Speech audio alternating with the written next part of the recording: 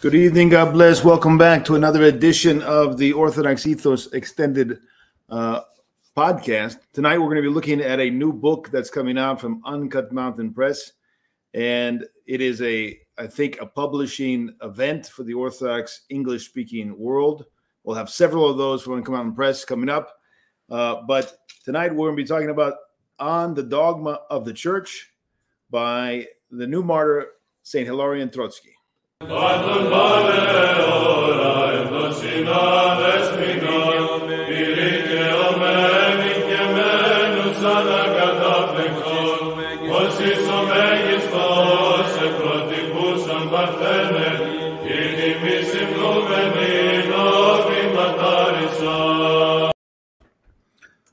Thanks for joining us on another edition of Orthodox Ethos podcast. As you know, we've been working very hard. If you've been following our work, we've been working very hard to produce important patristic literature, especially on the question of the dogma of the church and the uh, contemporary heresy of ecumenism and all of that which has been uh, is implied today by the various theories on the dogma of the church. And one of the most important figures of the 20th century having to deal from the Orthodox patristic perspective, dealing with this question from the very outset of the century is the new martyr, Saint Hilarion Troitsky. And so it is imperative for us, if we're going to uh, go deeper and acquire the mind of Christ on this matter and follow the church fathers, meaning the church fathers of our day who've dealt with this matter. If you were in the fourth century and you were faced with the plague of heresy, which was Arianism, you would have taken refuge in the great Cappadocians or St. Athanasius. If you were in the time of the Monothelites, you would have run to St. Maximus. If you were in the time of the false councils, or the false council of Florence, you would have run to St. Mark, and on and on. And so we're looking for those towering patristic figures in our day who are going to give us the patristic outlook. And one of those is St. Hilarion Troitsky. St. Hilarion, as you see here on the cover of the book on the dogma of the church, which is coming out, as I said, in a few weeks from Uncut Mountain Press, has written this, which is essentially a master's thesis on the dogma of the church, an historical overview of the sources of ecclesiology. Uh, he wrote this text in his early days as a student, actually. And it is, um, uh, although for a master's, it was essentially a PhD thesis length. In fact, the book, and let me share with you uh, a screenshot from uh, uh the book page over at Uncut Mountain Press.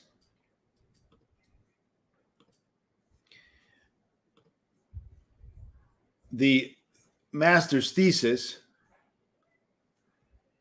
Let me go a little bit to the left here. We get there. There we go. Uh, is actually over 440 pages. so it's more like a PhD thesis. Not only is it over 440 pages, but it has over 2,000 footnotes, 2,000 references.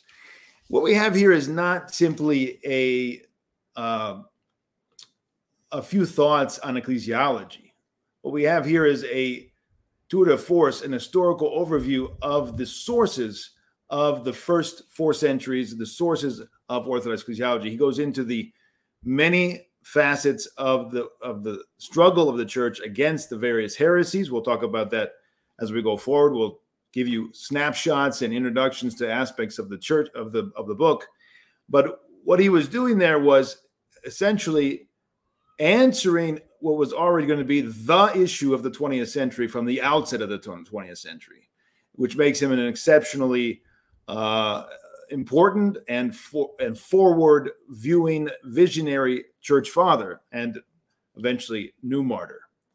Uh, so this is this is an extremely extensive examination of all the early church fathers and the heresies that they were encountering, and with regard especially to the dogma of the church. We're going to read a little bit tonight from the preface. We're going to show you um, a number of uh, uh snapshots, as I said, from the book. But before we get there, I think it's important to explain a little bit about the saint, about what he's done, what exists already in English, how you can already uh, access a lot of his uh, literature and prepare yourself for this uh, this uh, extensive examination um, and and understand him in the right context. Because what we have in this text is a early uh, Saint Hilarion Troitsky. We have someone who's grappling himself for the in, in many ways for the first time with all of these sources.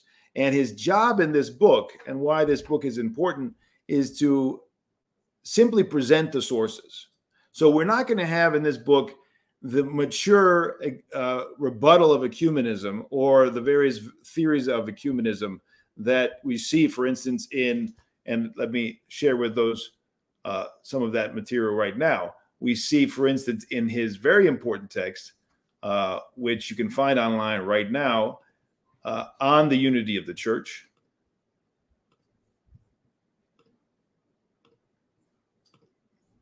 Which is over at orthodoxinfo.com.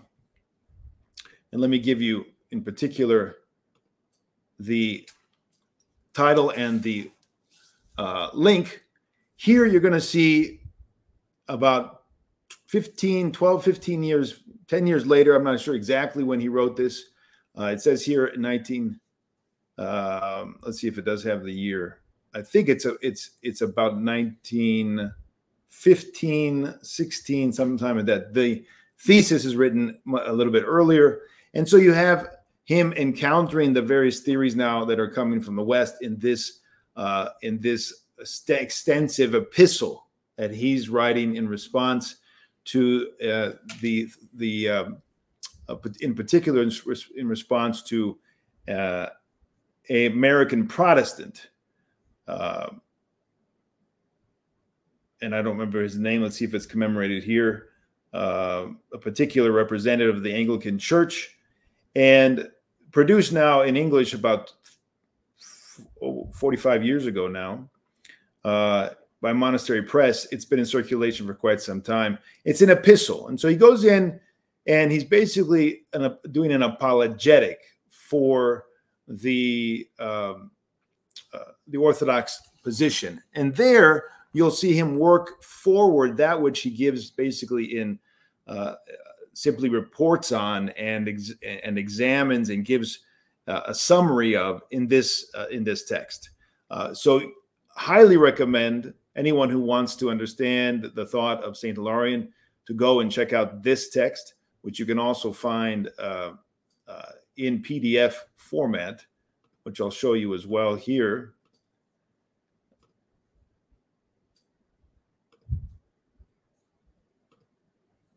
That's what you'll find. This is a PDF of uh, uh, of of the of the text that's been produced by the uh, in Montreal, you know, back in the seventies. Besides that, another text that's very important to understand the the, the more mature thought of Saint Hilarion is going to be Christianity or the Church. Another text produced uh, by uh, the Russian Orthodox Church outside of Russia uh, similar, but more of a treatise. The other one is an epistle. This is in a treatise.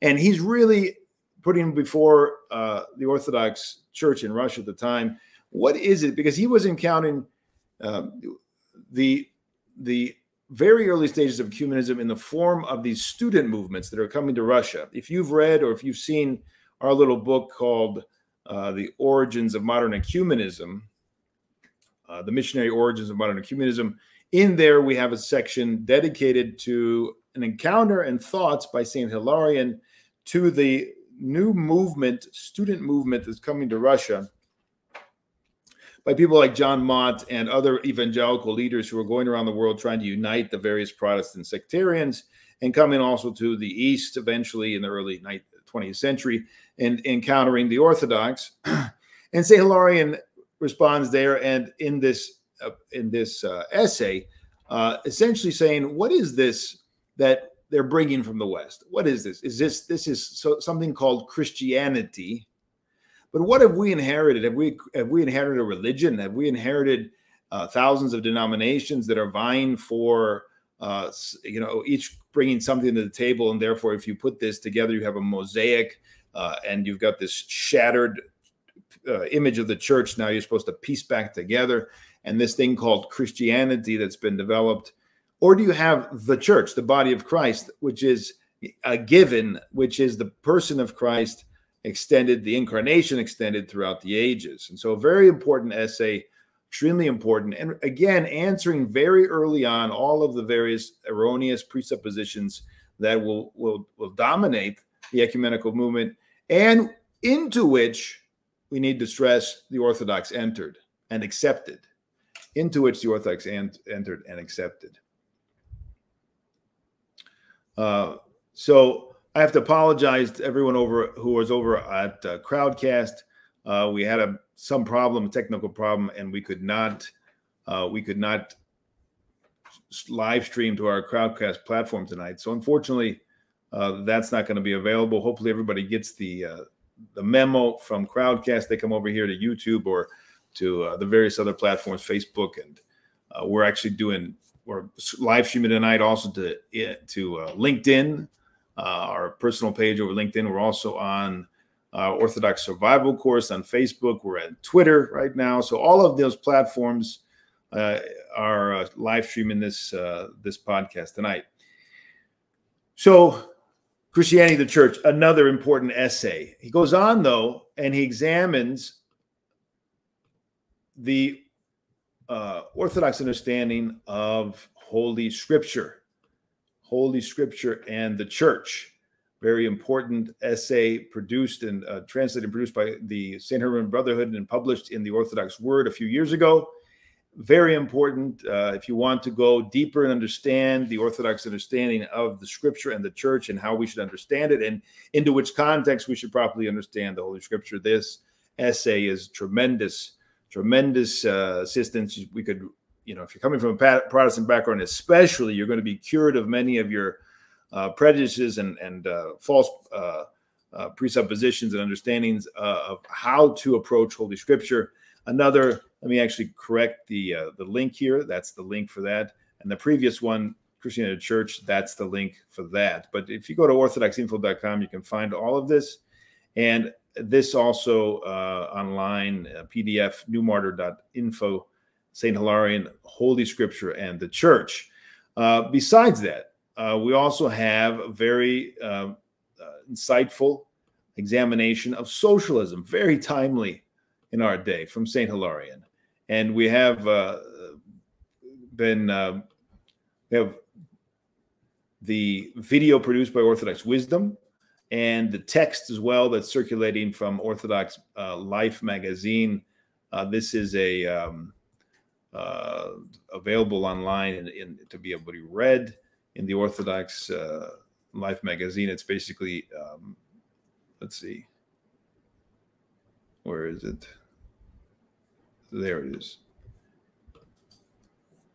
Nope, that's not it. Let's try again. We want the other one. And there we go. So you can find this online Christianity and Socialism by the new martyr Hilarion, and this was originally produced by Orthodox Life, and now it's uh, online as a kind of uh, as a um, um, all the various old issues and a lot of the articles. Very important for our day as well. So Saint Hilarion again bringing the patristic mind to bear on so such an important topic. Of course, Russia overwhelmed by communism, but we're dealing with socialism and, and Marxism today uh, as well, like like never before in the Western world. So very pertinent. I want to also make you uh, uh, aware of a. Uh, you can find this by just searching online, but just to bring to your attention, a um, beautiful essay, the relevance of the Holy Higher Martyr Hilarion Troitsky for our times. The relevance for our times. I think that uh, this would be a good read if you want to say, well, what? Why do I have to read? What's the what's important? Why is Saint Hilarion important for the church today? Well, here's a wonderful essay uh, that's going to uh, uh, be very illuminating, and you can also see on the right there's other other um, uh, texts that uh, they have available at Ortho Christian.com on the persecution against the Russian Orthodox Church and Archbishop Hilarion Troitsky, Metropolitan Anthony Khrapovitsky, a man of paschal joy, uh, and and many other uh, texts that you can find. Why is it necessary to restore the patriarchate? Also by St. Hilarion. By the way, all of these texts, our goal at, at Mountain Press is to bring the whole corpus, the entire writings of St. Hilarion into English. Uh, year after year, we hope once a year we'll bring out a tome like this one, the 440 pages, uh, and we'll be circulating uh, each year a new uh, offering from St. Hilarion because he is so relevant and his writings are so relevant and so important. And because he is, I think, and, and what I'll talk about a, a lot tonight is his place in the conveying of the holy tradition is very unique and very important because he is not uh, he, he, he truly is a universal orthodox saint and he brings to bear the universal tradition in many ways uh, not without some limitations. And we'll talk about those as well, because everyone has their limitations and historical and otherwise. So we'll talk about that as well. But the very important essay there on the relevance of St. Hilarion. And then uh, a very a very good and important resource online is uh, classical Christianity. Uh, if you've not been over to that uh, website, classical Christianity, um, done by a, very good uh, friend of ours uh, who produces wonderful material, a lot of excerpts, and very astute himself in observations. You can see here he's got a lot of excerpts uh, from the writings of St. Hilarion on the church and the canon of scripture, like we said before, the effects of separation from the church. Wonderful little uh, excerpts how, on how to debate the iconophobes, on the reduction of Christianity. These are excerpts from various essays. Some of them we've already talked about tonight, but deification, evolution, you can see he has he has so many important things to say to all of us today. We need to take refuge in the saints. And so if you're not an avid reader of the writings of St. Hilarion, here's your opportunity. Now let's go back to the book. Let's read a little bit about the book. And let me share uh, the excerpt that's online at our uh, website uh, and talk about that a, a bit. So we have uh, let me just read it and then we'll talk about it. The question of the identity of the church, its membership, hierarchy, and mysteries is of paramount importance today and also the primary stumbling block within heterodoxy and the ecumenical movement, including some unfortunate Orthodox who have uh, succumbed to uh, the various uh, uh diluted ideas about the church, embraced uh, those, and uh, promoted them within the Orthodox Church. Uh, in this book on the dogma of the church, an historical overview of the sources of ecclesiology, the Holy Higher Martyr Hilarion, Saint Hilarion Troitsky, explores patristic resources from early centuries of Christianity, seminal works at the periphery of the consciences of every Christian, and brings them to the forefront as living witnesses to the unbroken tradition of the church. So again, the goal here in this book, as you'll see when we go into each chapter, is not to immediately defend the faith against contemporary heretical views.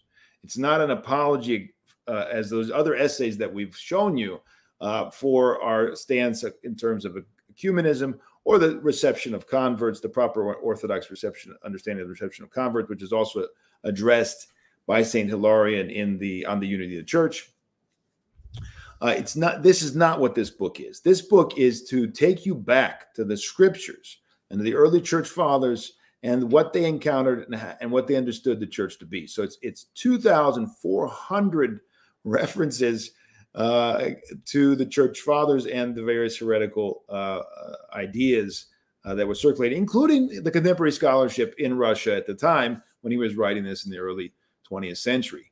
Uh, St. Hilarion's staggeringly extensive familiarity with sources, both patristic and modern, coupled with his own lucid thinking and profoundly orthodox outlook, superbly equip him for his extensive analysis of the subject. Eminently engaging and highly readable, this collection of essays,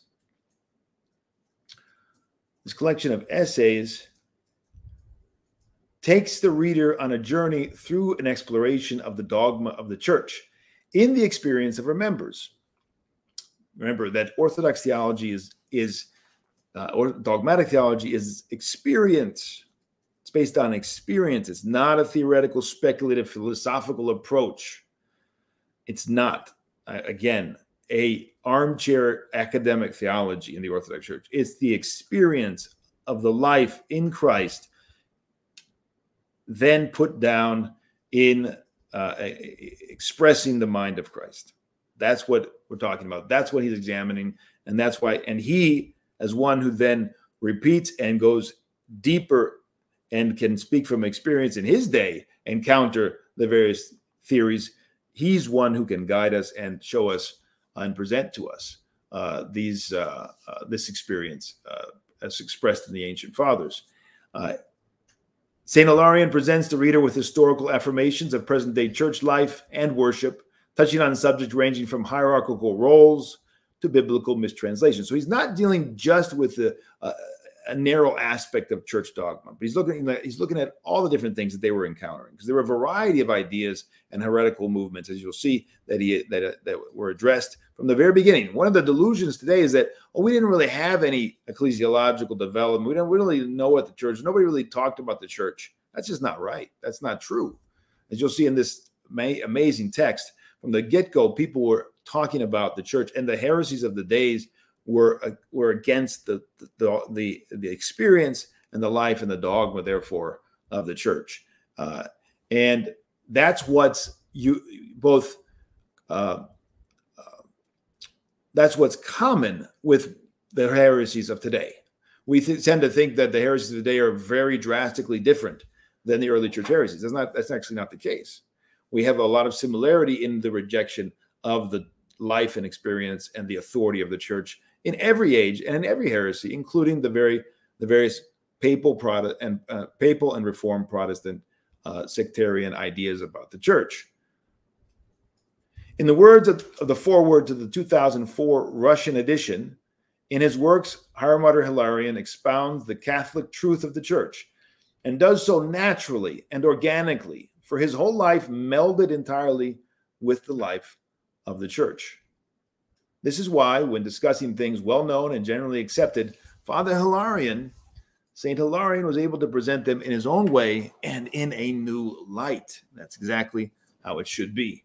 This superb collection of essays is one that will edify the minds and enrich the ecclesiastical lives of new generations of Christians of all walks of life while providing invaluable context for evaluating the authenticity and orthodoxy of contemporary theories about the church. So, why is that? That's extremely important for every one of us. It, it, we cannot rely on the experts in the church, meaning the academic theologians or the even the uh, those who are pushing various theories among the hierarchy, and they want us to just blindly follow them into the delusion of ecumenism.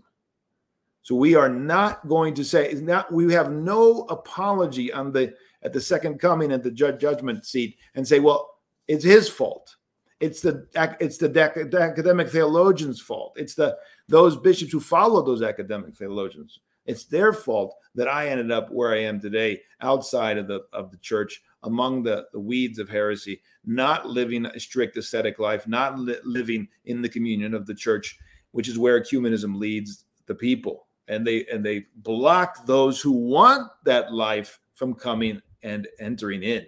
And so uh, we cannot blame anyone else. We, as the minute you have been baptized, you've been chrismated, you've communed with the mysteries, you have a grave responsibility to bear the burden of being an Orthodox Christian and confessing the faith. That means you know the faith. That means you've learned the faith. You've gone deeper.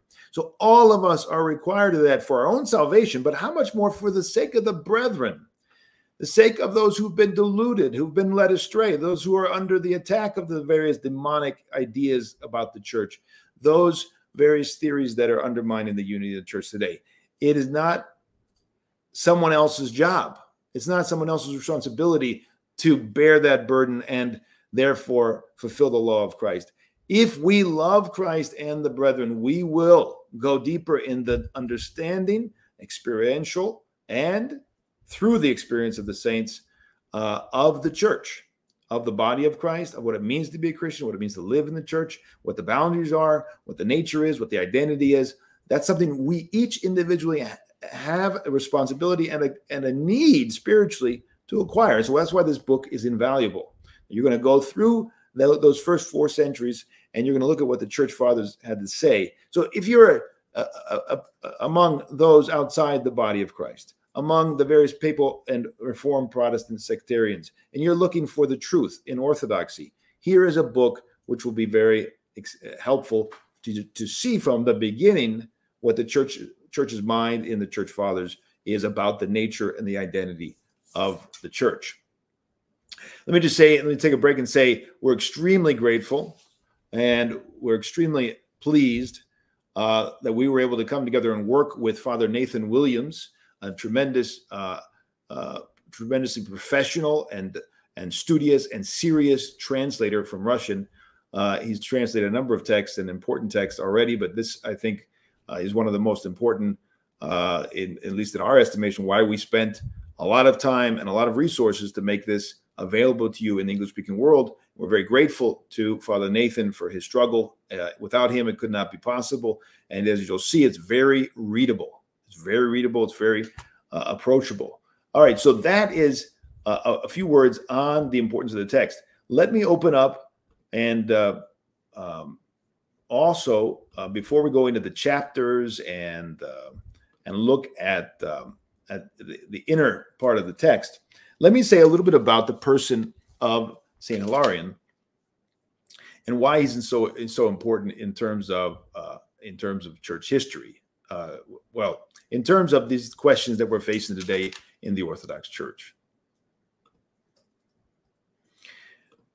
We have to go back before his time we have to go back into the 18th century. We have to go back to what was going on in uh, in the 18th century around the Orthodox world, and then we're going to understand the the pivotal role that he plays in being a bridge to the early church, earlier church fathers, uh, for us who are after him in the 21st century. Uh, not unlike Saint, uh, in a different way, of course, Saint uh, Paisius Velichkovsky, or Saint Nicodemus of the Holy Mountain.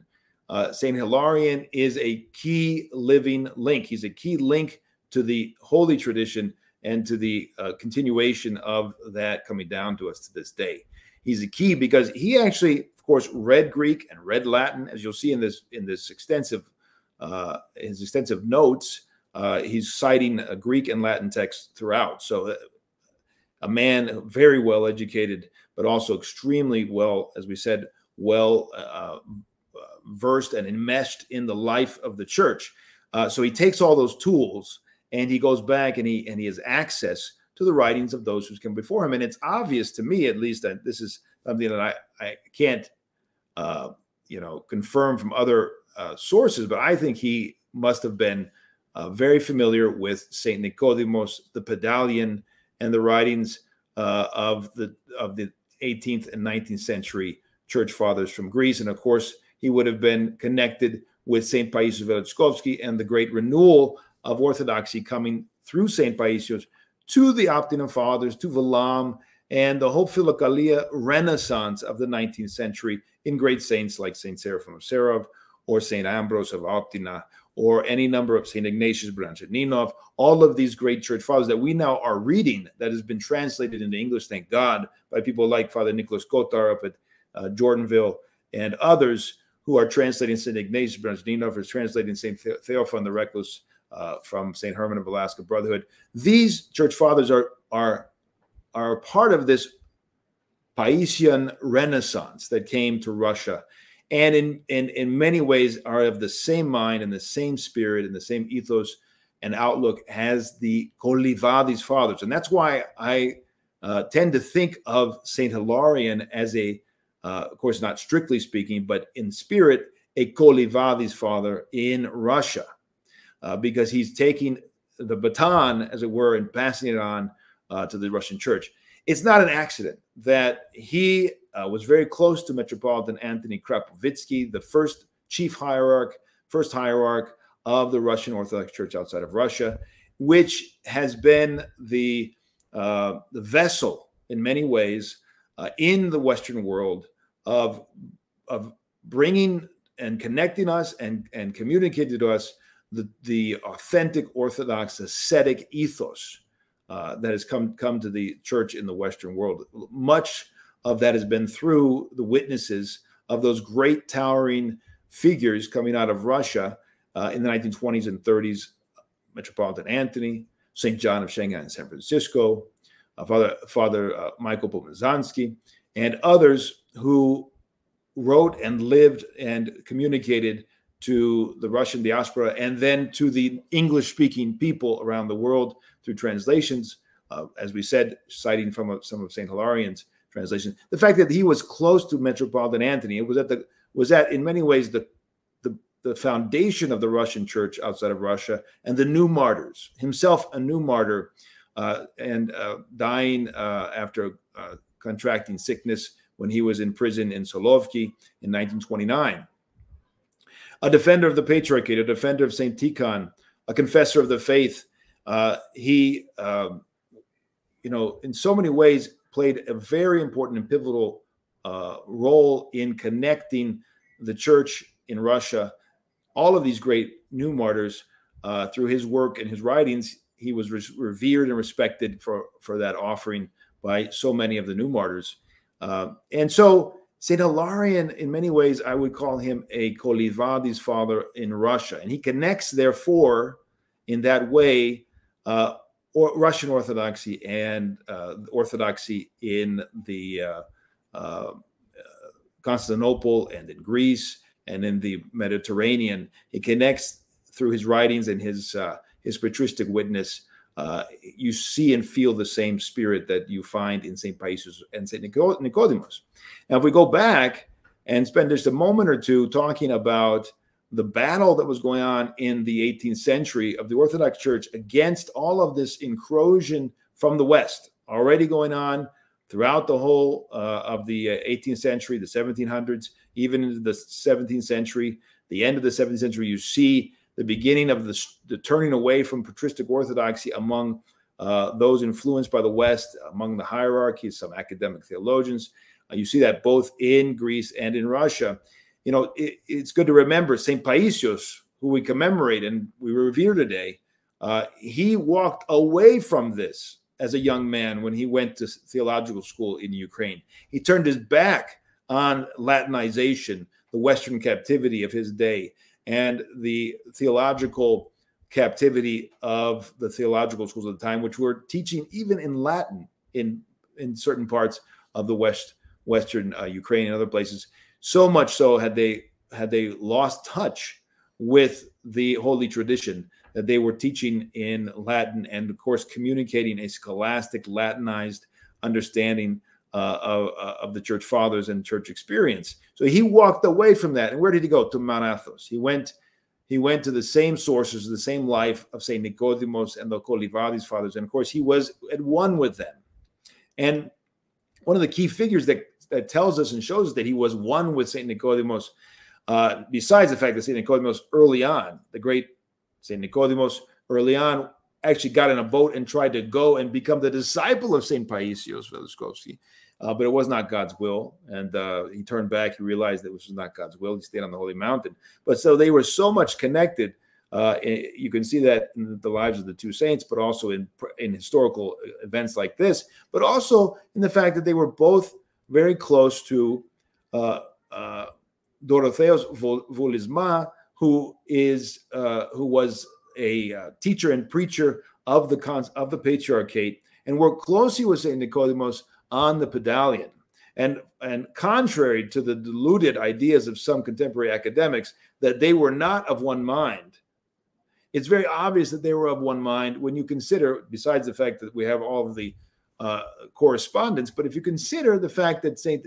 Uh, Paisios uh, asked for and received the treaties of, of Voulismas, uh, the Ordos Voulismas, on the whole question of the day, which is still the question of the day, and the question of reception of converts, reception of the heterodox, uh, and the question of baptism. Should the Latins, should the papal Protestants be received by baptism into the Orthodox Church? That was a major issue in the seventh in the 18th century. Of course, we have the council in 1755, in which the uh, patriarchates uh, and the patriarchs of the day said, yes, they must be received by baptism. You have the Pedalion in which St. Nicodemus says the same thing. You have the trees by Voulismas that says the same thing. And Paisios, St. Paisios asking and receiving that from him, his, his spiritual son, essentially. St. Voulismas was planning to be himself also a disciple of Paisios Velichkovsky and had plans to go and become a monk in the monastery, wanted to do that much, for much of his life, but it was not blessed he served the church very valiantly in the Patriarchate. But he got that text, translated it, and published it just before his repose uh, in the early uh, 19th century. Uh, why am I talking about all that? Because these events are what formed or what was going on and what the church was struggling with, and also what made it made it played a big role in forming also the mature thoughts of Saint Hilarion Troitsky, because he's reading these writings, he's reading the, his, his, predecessors, he's he's he's receiving and following his immediate predecessors and those before him, like Saint Paisios, and you can you can see clearly that he wants to be a follower of the Holy Fathers. Epomenes tisagies patrasi. This is the key uh, characteristic of the saint that he is a disciple of the disciples, that he is an obedient uh, uh, one one uh, to Christ in the saints. And of course, you can't be obedient to Christ if not in the church and if not in the saints. You cannot on your own uh, be a true disciple of the master without being a disciple of the disciples of the master. These things are inseparable. That's the that's the nature of the church that it is uh, at one and the same time Catholic, meaning the whole truth, and apostolic, and one and holy, meaning that Christ is, uh, it's Christ all in all. All of these things are simultaneous. We didn't say we don't confess faith in, by the way, faith in, not we're not talking about, but we're confessing faith in the church, meaning the body of Christ. The church, therefore, is a person that we're confessing faith in. That's Christ himself. And we're not confessing it and saying, well, we believe in the church or the apostolic church or the Catholic church or the one church or the holy church. Those things are not what we confess. All together, the one holy Catholic and apostolic church, right? All together, all these are these are all necessary, and it's all it's all uh, it's necessary if you're going to be a disciple of Christ to be a disciple of the apostles and the successors of the apostles. And so you see, Saint Hilarion is a one who is a pomenis tisaigies patrasi, following the Holy Fathers, and this is why it's so invaluable in our day because following the Holy Fathers, he's now encountering the beginning of this massive, grave challenge to the church in the 20, 20th and 21st century, which is the heresy, the pan heresy, as St. Uh, Justin calls it, of ecumenism. This pan heresy of ecumenism, which is a threat to the very uh, salvation of all the members of the body. You, you ask, well, you know, we, you, many of you are struggling in your parishes and other places because you're struggling not only with your passions, your sins, the world, the devil, and all the rest, but you're also struggling, unfortunately, with, in many ways, uh, clergy who are not fully immersed and fully committed to the holy tradition. They've been infected, they've been diluted, they've been pulled away uh, by various ideas, and and whether you know it or understand it or not, a lot of that secularization, a lot of that distortion that you feel or that you're resisting in various places today in the in the Orthodox world during the COVIDism and all the rest, it has to do directly with this pan heresy. That for decades and decades, we've the church has been weakened, the people of God have been weakened in the church by this heresy, this pernicious, deluded idea that the church is not one, not holy, not Catholic, not apostolic, not apostolic, but it's united to heterodoxy. It's got falsehood and truth within it. It is divided. All these various uh, uh, theories imply these cacodoxies about Christ, the body of Christ. These things going on for decades now and eating away at the strength and the prophetic voice of the church obviously plays a huge role in the very life that you and I lead in the parishes and and how much uh, what a dynamic or lack of dynamic life we have in the parish. It's all connected. So the fact that, as we said earlier, you cannot be indifferent. You are a co responsible. All of us are co responsible for the life of the church. That's why coming to the feet of the great saints who, who've passed on to us the holy tradition, like St. Hilarion, is essential if you're going to make progress. You're going to be a part of the solution. You're going to be a healthy cell in the in the body. You're going to be uh, yourself a follower of the Holy Fathers. All right, let's turn now to.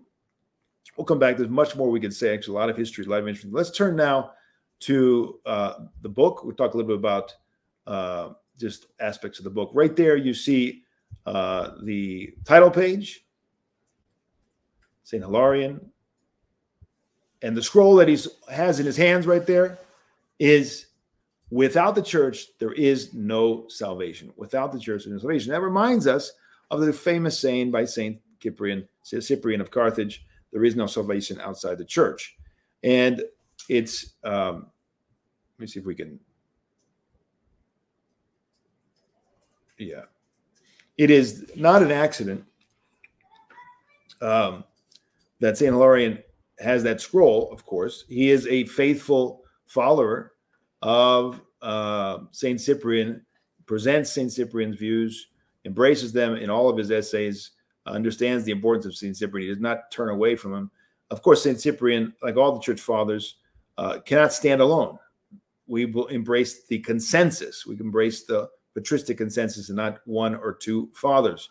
And that's why immediately when you hear someone tearing down St. Cyprian, you know that they actually do not have a patristic view of things because the fathers neither would never tear down a church father first of all. Secondly they would not put all their marbles in one basket and say this is it. He alone saint augustine alone saint cyprian alone. No that's not the patristic way. Uh, but they would not disregard them at all as because the saints did not dis- disregard those coming before them including saint cyprian. So without the church there is no salvation he says here there is no church salvation outside the church, St. Cyprian says. And all that is saying, brothers and sisters, is there's no salvation outside of Christ because Christ is the church. And this is another effect. This is another uh, uh, uh, terrible fruit of the contemporary Protestant outlook on the church is that we, some Orthodox, unfortunately, but in the world, you see this going on, they're implicitly separating the church from Christ. And they're talking about one who can be separated from church but united to Christ. But that's impossible because Christ is the church. Christ is the body of Christ. Obviously, he's the head.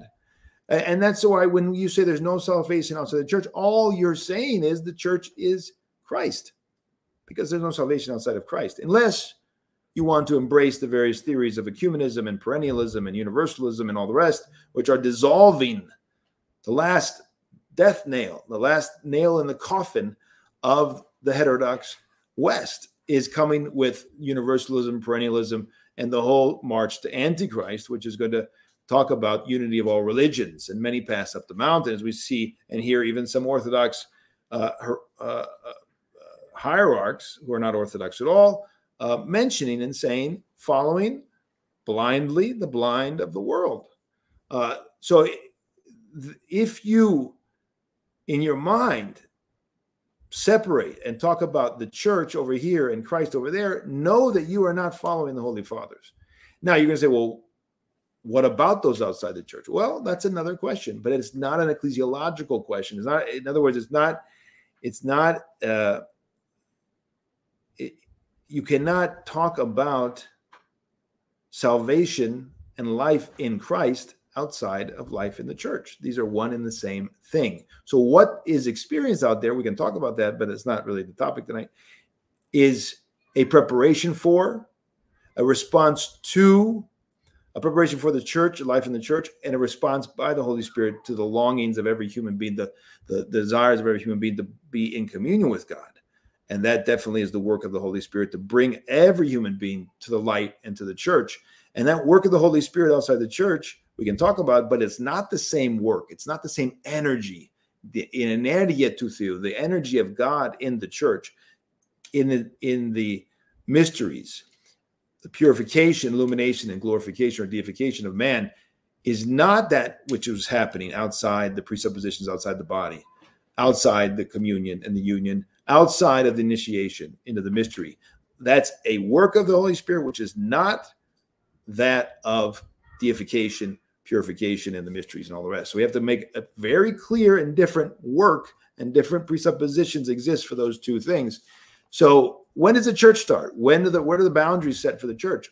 Well, when we're the mysteries begin, when we become uh, initiated into the mystery, and when we are received by the church as a catechumen, we begin the process of preparation for that initiation and that union. And that's a very clear, concrete, historical, practical reality. You know, it's a scandal to the mind of the Gnostic today that the Christ is here and not there, that you have to be initiated into him in a time and place. That's the great scandal that the modern Gnostic mind will not easily accept.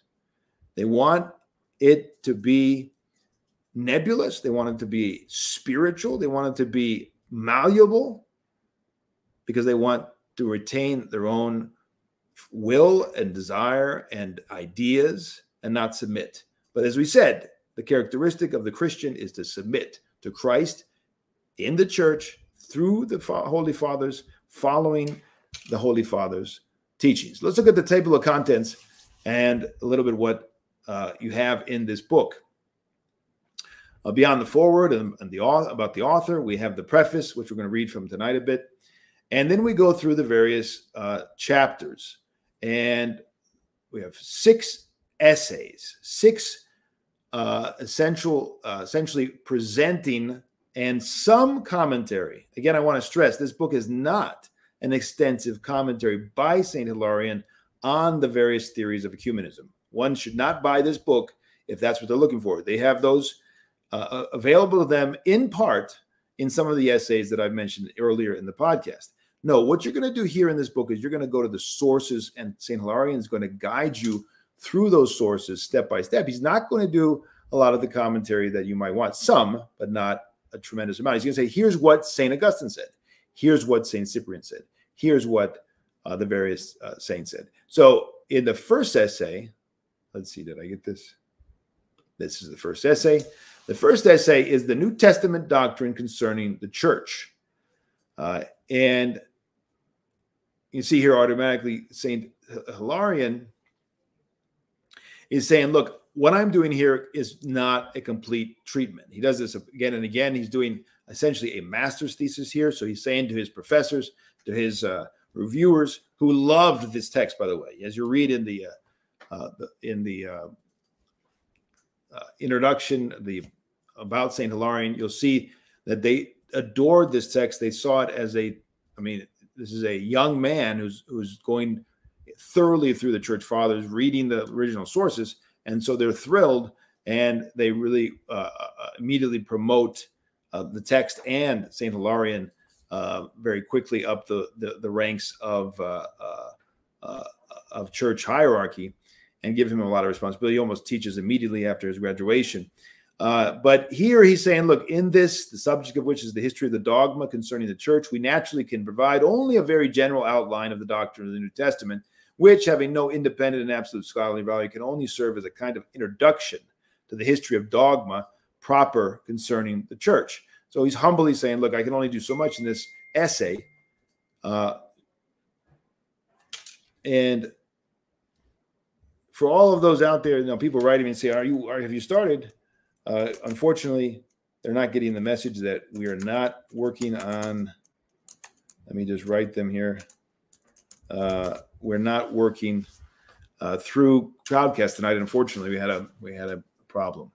Uh, so, New Testament doctrine concerning the church is essay one, examines the scriptural passages and the commentary of the fathers on that. Number two, second essay, the concept of the church in anti Judean polemics of the first two centuries.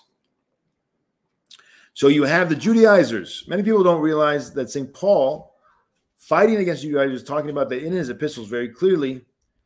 This is a question of ecclesiology. This is a question of the church, the boundary of the church, the submission of the church.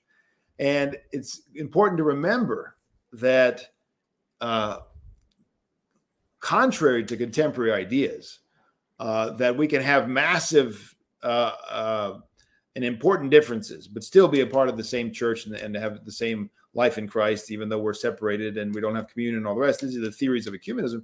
Contrary to that, you see the what with what sensitivity, uh, with what uh, uh, care, Saint Paul and the and the early uh, the early apostles counter the Judaizers and say that even that comparatively simple and and non-confrontational stance in some ways of the Judaizers, this is another gospel. It's another gospel, St. Paul says. Uh, the fact that they would they would not see the fulfillment of circumcision and baptism. They were wanted to impose upon the Gentiles the various types that have now been fulfilled implies and shows that they had not embraced Christ as the Messiah fully. They had not understood the fulfillment, the completion uh, uh, of, of all the preparation of the Old Testament. They were still holding on and not submitting again and again and again throughout church history. What we have is a failure and a refusal to submit to Christ as all in all, as a as the fulfillment and the fullness. And there is no lacking. There's no partiality. There's no partial communion, partial participation, partial acceptance. You either submit and are commit and and and are uh, die to the old man and rise again now in Christ and accept everything that he gives, or you are not his disciple. It's that simple. And so the Judaizers would not. And they were teaching and preaching another gospel. Of course, that has to do with ecclesiology. So here we have, in the first two centuries, already a tremendous amount of resources for us to understand the boundaries of the church. And we're grateful very much to St. Hilarion, who's going to guide us through that. Chapter three, third essay. And these are extensive essays. We're talking about 440 pages uh, in, in, these, uh, in these essays. In the third essay, we have the teaching of the anti Gnostic writers concerning the church. Uh, one second, let me just give a heads up to everybody who's who's still, uh, if they're still over there. I hope they're not still over there, but some people might be popping in over there and not realizing that they need to go over to YouTube. Uh, teaching of the anti-Gnostic writers concerning the church. So he's examining all those early church fathers, Saint Irenaeus and others who stood against the Gnostics of their day. And of course, the Gnostics are alive and well today. As you, if you've been following our uh, our series of lectures on the Book of Revelation, you'll see that Freemasonry and the various secret societies, the New Age, and all of that is a total revival of Gnosticism. That there's a whole Gnostic element to the Protestant sectarians today, the denial of the real the denial of the reality of Christ in the mysteries, uh, the wanting to make everything uh, essentially uh, the denial of the body, the denial of the body. I mean, ecumenism is a kind of Gnosticism. It denies the the the scandal of the particular, the scandal that is that the body is in a particular place and time and an identity, and you have to enter into that. That's a kind of Gnostic rejection of the body, right? Of of, of reality in and and not and wanting to spiritualize everything uh, and and empty it empty and, and empty the incarnation of its of the implications of the incarnation. They want to they want to walk away from that narrowness right? That that's too narrow for us. Uh, we want a christ that's going to be very malleable in our hands and we can become perennialists easily and we can we can reshape things to make them in our minds make sense. Okay that's the modern humanist mentality that is dominating most religious men and women today and most seekers. And so this is the antidote. Saint Hilarion is going to come here and tell you how to uh, see this through the lens of early church fathers. We also have fourth essay, the doctrine of the sanctity of the church and the conflict with Montanism. Again, if you've been watching our lectures on uh, the book of Revelation, you'll be familiar with that harlot, uh, that Jezebel, right? Uh, that was a great uh, threat to the church uh, in, in, in Asia Minor, who was a predecessor of the Montanists. And remained within the body, was not not uh, decisively excised, and that was the great complaint of the Lord with the bishop that he did not decisively excise this heretical-minded uh, Jezebel, and the church eventually from that uh, area of Asia Minor became the source of the heresy of Montanism. So the church was was struggling from its from the get-go with heresies that undermined the nature of the church, whether it be the one the oneness of the church. And that would be the oneness of baptism, by the way. The oneness of the church and the oneness of baptism are inseparable because you're baptized into the church. And there's only one way, one door into that church, and that's through death and resurrection. That's the door to the church. Therefore, the one baptism, the one faith, the one church, those things are inseparable. St. Paul commemorates them all together one Lord, one faith, one baptism. So, that sanctity is another aspect that was under attack in the early church by the various heretics, including the Montanists, and the distortion of what it means to be holy and all the rest. Uh, and so, in this fourth essay, we have a 204 here by St. Hilarion, uh, hundreds and hundreds and hundreds of citations, not only modern, but also not only ancient, but also modern. Question of the church in the dogmatics, dogmatic polemics. Uh, I'm sorry, no, we're going to the fifth essay. Fifth essay is the teaching of Saint Cyprian of Carthage concerning the church. It takes a whole chapter and dedicates it to Saint Cyprian, uh, and uh, and then follows up uh, with uh, an examination of the church's polemics with Donatism. And of course, that's going to be dominated to a large degree by St. Augustine. So both of these towering African church fathers, St. Cyprian and St. Augustine, are dealt with in this book. Uh, oftentimes, uh, the debate today centers around uh, these two figures and the third century, uh, uh, the third century struggle with the various heresies and what the church fathers had to say about that. And uh, so I think this this this book is going to be very valuable to all of our researchers, all of our theologians, all of the people who want to go deeper and and see through a proper lens a church father of our day, the church fathers in the ancient uh, world. So let's go. Uh, we're already one hour in, so I don't want to go too long tonight. I'm just going to be touching on uh, the book, but let's go to uh, the actual book. Let me open up the PDF here. And we'll walk it through a little bit. So this is the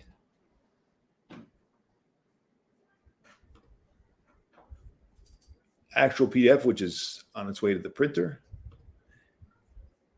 Let me uh, open it up here.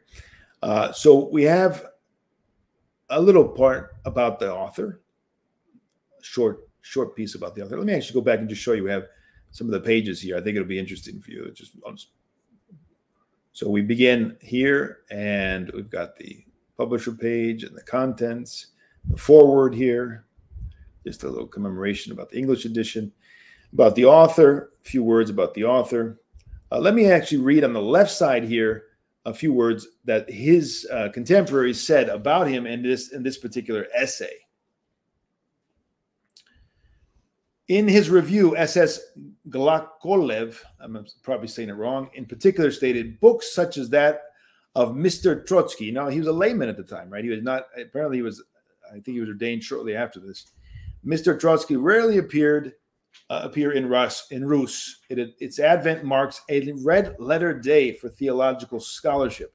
Professor Muretov noted that the work of Troitsky not only supplements but wholly surpasses the works of uh, his Russian predecessors and concluded his review with the words of high praise. If it were up to me, without the slightest hesitation, I would declare Troitsky's dissertation fully worthy not only of a master's degree, but a PhD.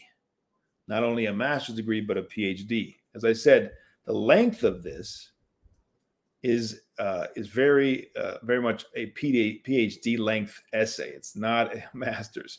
I don't think anybody is going to write 400 uh, pages and 2,400 footnotes today for their master's degree. It's more like 120 or something, or 200 at the most. Uh, and so the professor's recognizing this this amazing offering of this uh, of this master student.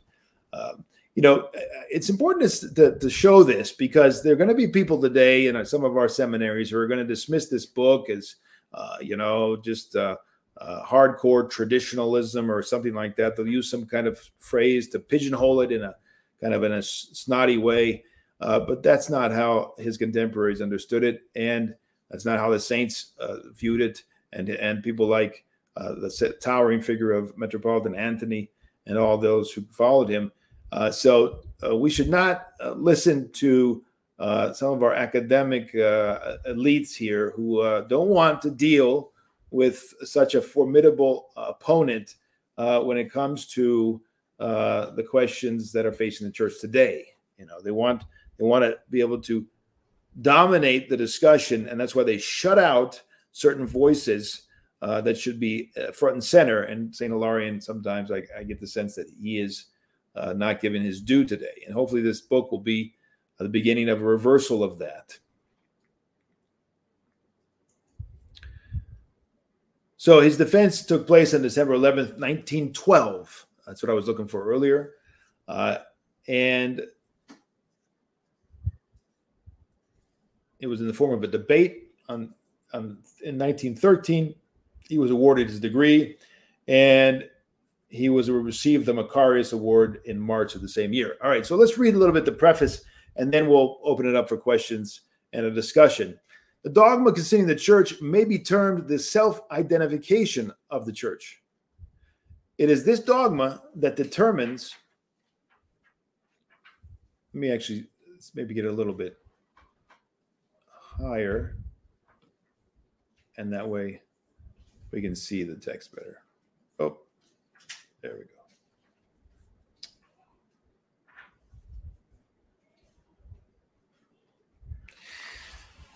It is this dogma that determines what the church is and what dis- distinguishes it from all that is not the church. The church is not a phenomenon of the earth, a natural earthly order.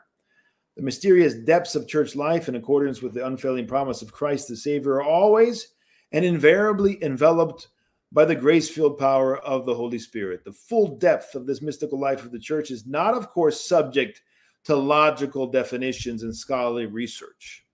Okay, so right off the bat, he's saying, Look, I'm doing this research, but do not be deluded to think that we're gonna we're gonna cover cover it all. This is gonna be a partial covering to a certain degree uh, because you have to live the life to understand it. You have to live it to, to and even then you won't be able to express it. Even then you won't be able to express it fully.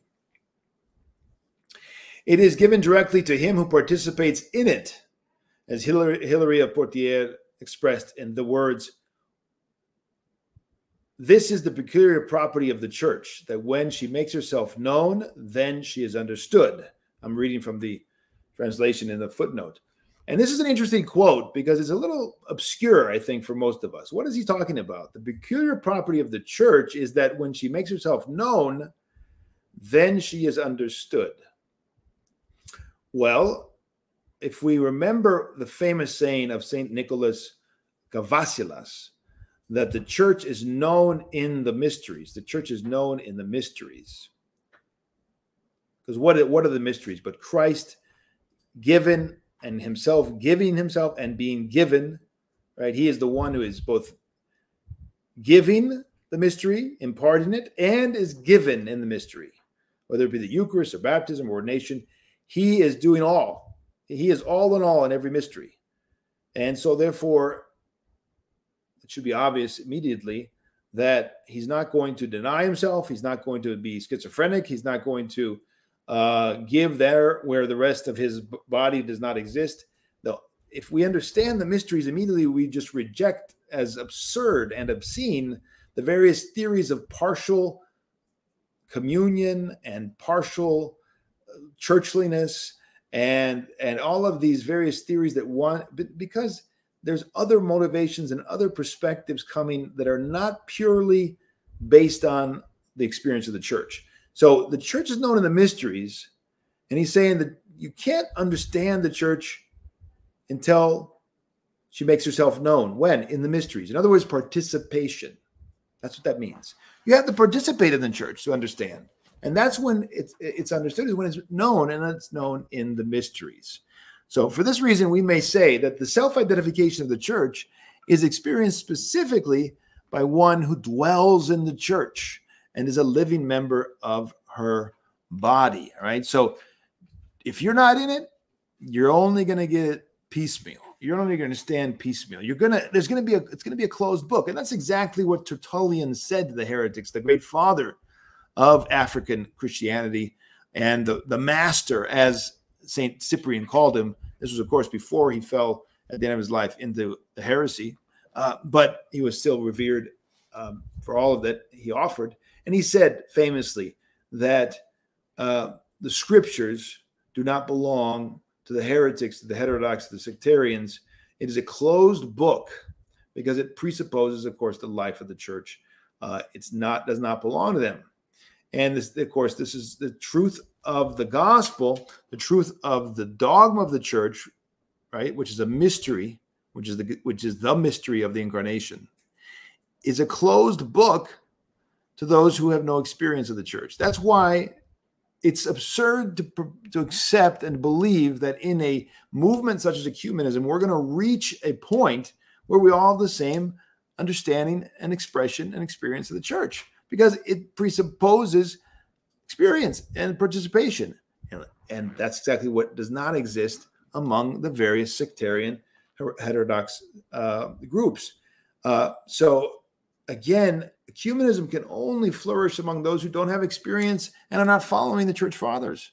That's the only way you can you can you can purport uh, you can propose and promote such views and you betray your lack of experience and understanding when you say such things. So, a living member of a living body, that's at the core of everything here. Nevertheless, since the inception of the church, the theological thought of church writers has undertaken, among other things, to define, again, to I think what here defined is properly understood in this context is give boundaries to, right? Because that's what we do. What we the term that's used in the ecumenical council is the oros, which means the definition of the council. The oros is actually the boundaries. So when we say define the essence of the church, obviously that's impossible, right? Essence of the church is uh, is is is not even expressible in words, let alone definable. What he means is put the boundaries around that mystery, right? So that you outside of that, you will lose communion with that reality. And they want to understand well where do where do i start losing communion? How do why are these views that are that are proposed by the various heretics why are they both an expression of the lack of experience and leading people away from the experience? So they have to in their struggle against heresy that's when everything was developed right? We didn't didn't start and speculate you know after the divine liturgy uh, with coffee let's speculate about what the church is. No no no. There was a there was a struggle there was a an attack on the life of the church. There was an attack on the identity of the church, and they were responding. And in that response, they had to say, well, what, how are we going to express our experience? How are we going to show the boundaries outside of which you must not go if you're going to be an expresser and conveyor of that experience? Uh, and so they had to try to define the essence of the church and its properties in concepts comprehensible to the human mind. It was a it was a pastoral endeavor, essentially. The brief definition of the church presented in its symbol of faith, we're talking about the creed of Nicaea, the first uh, and second ecumenical councils uh, creed, right? The Nicene Constantinople Creed, I believe in one God, all the way to the end. This uh, this brief uh, uh, oros, the oros of the first ecumenical council was essentially the creed, that's what the definition, the decision, the boundaries that were laid down with it was the creed.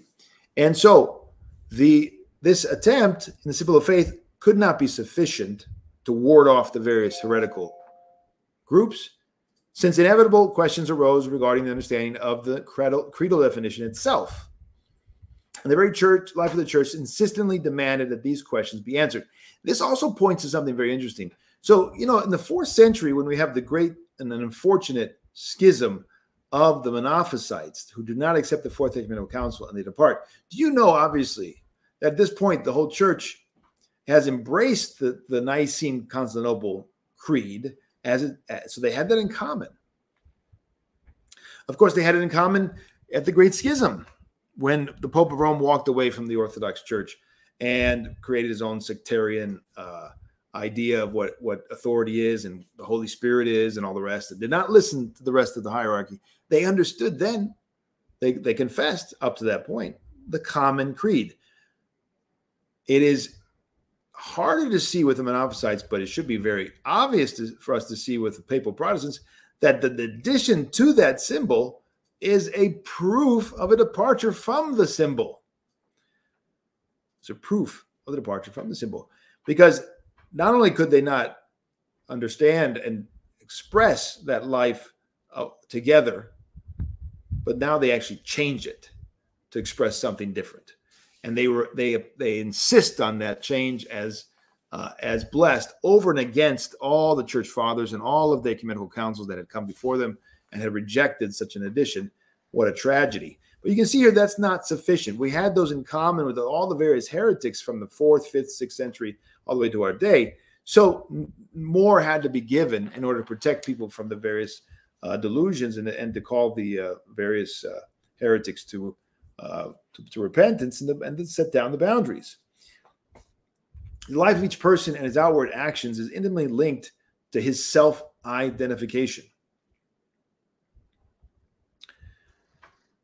we have crisis of identity today, don't we? I mean, everybody's wondering are they a boy or a girl, or they're wondering who might be a boy or a girl. To that to that, to that degree of loss of self-identification has has mankind sunk. Uh, so, yes, uh, who are we? What's the point of this life? What's the meaning of this life? Basic questions.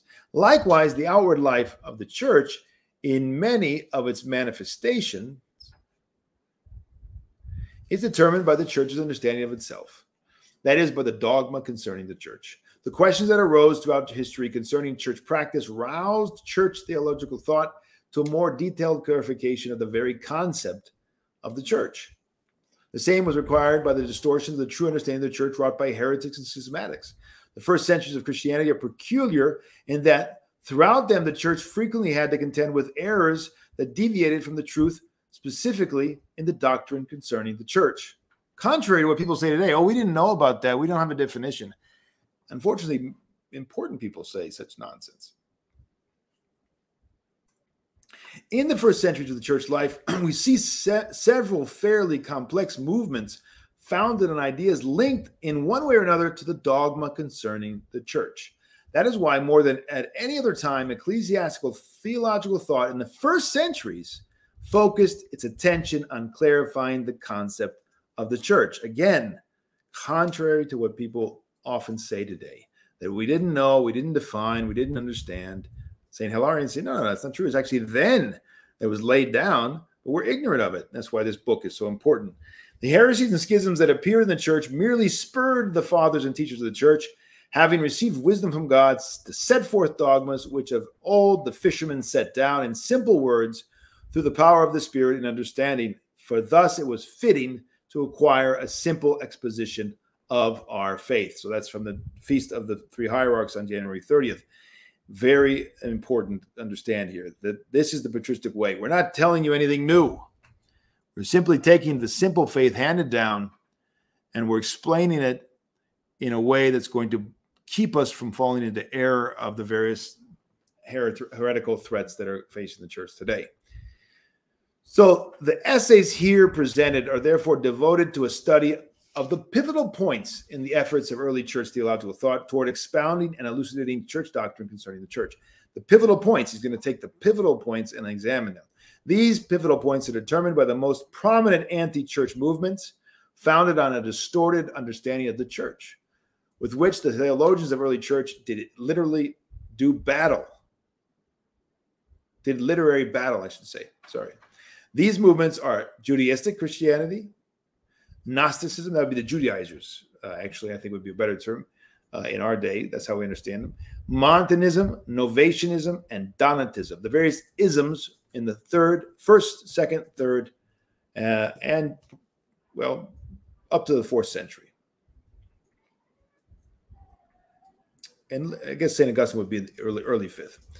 Uh, so we therefore preface this study of the church's writers' dogmatic struggle against these anti-church phenomena with a brief, brief overview of the New Testament concerning the church.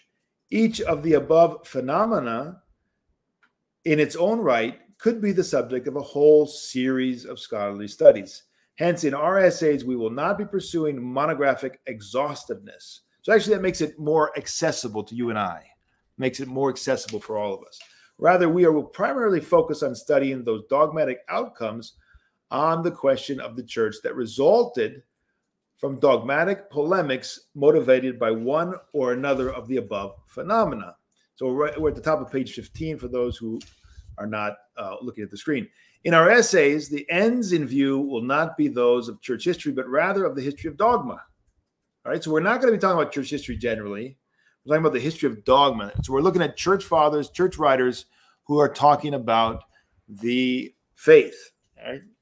Only by thus limiting the task will it become possible to unite all the essays here presented into a single study, since the most prominent anti church movements of old, which we have noted, may only be combined from the standpoint of dogmatic history.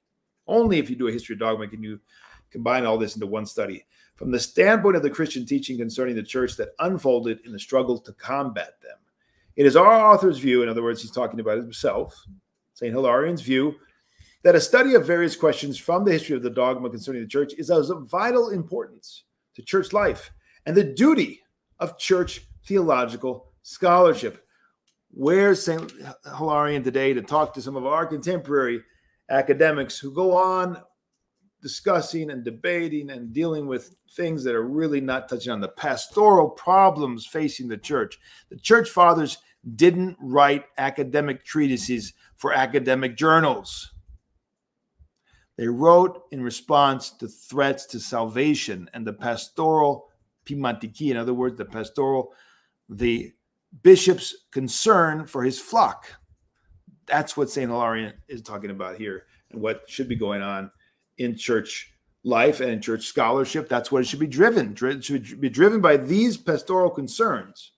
The question of the church is always an interesting and important question. One ought always to proceed from the concept of the church when resolving questions of church life. And frequently, these questions essentially comprise a repetition or modification of old ones. Again, he's saying, look, we have the answers. We need to reapply them. We need to go back to the sources. We need to answer them on the basis of the fathers. If we had two or three or even one St. Hilarion today, we would have a different reality in the church. We need this approach. Follow the Holy Fathers. The gates of hell, array, but down here in the middle of the page, the gates of hell arrayed against the church in the uprising of heresies and errors to this day give rise to numerous anti-church phenomena. Combating, he's talking about ecumenism here. He's talking about those things that are just on the horizon, just appearing in uh, in in earnest in the Orthodox countries at the turn of the century. There, Combating these phenomena is the task of the ecclesiastical figures of the day. That's the role of the bishops to protect the flock, to to to to to, to be on guard at the at the entryway to keep out the various heretical theories. It's not the job of the hierarchy, it's not the job of the theologians to go in dialogue with unrepentant heretics and other unrepentant heterodox sectarians. That's not the task, the role, the calling. That's a disaster.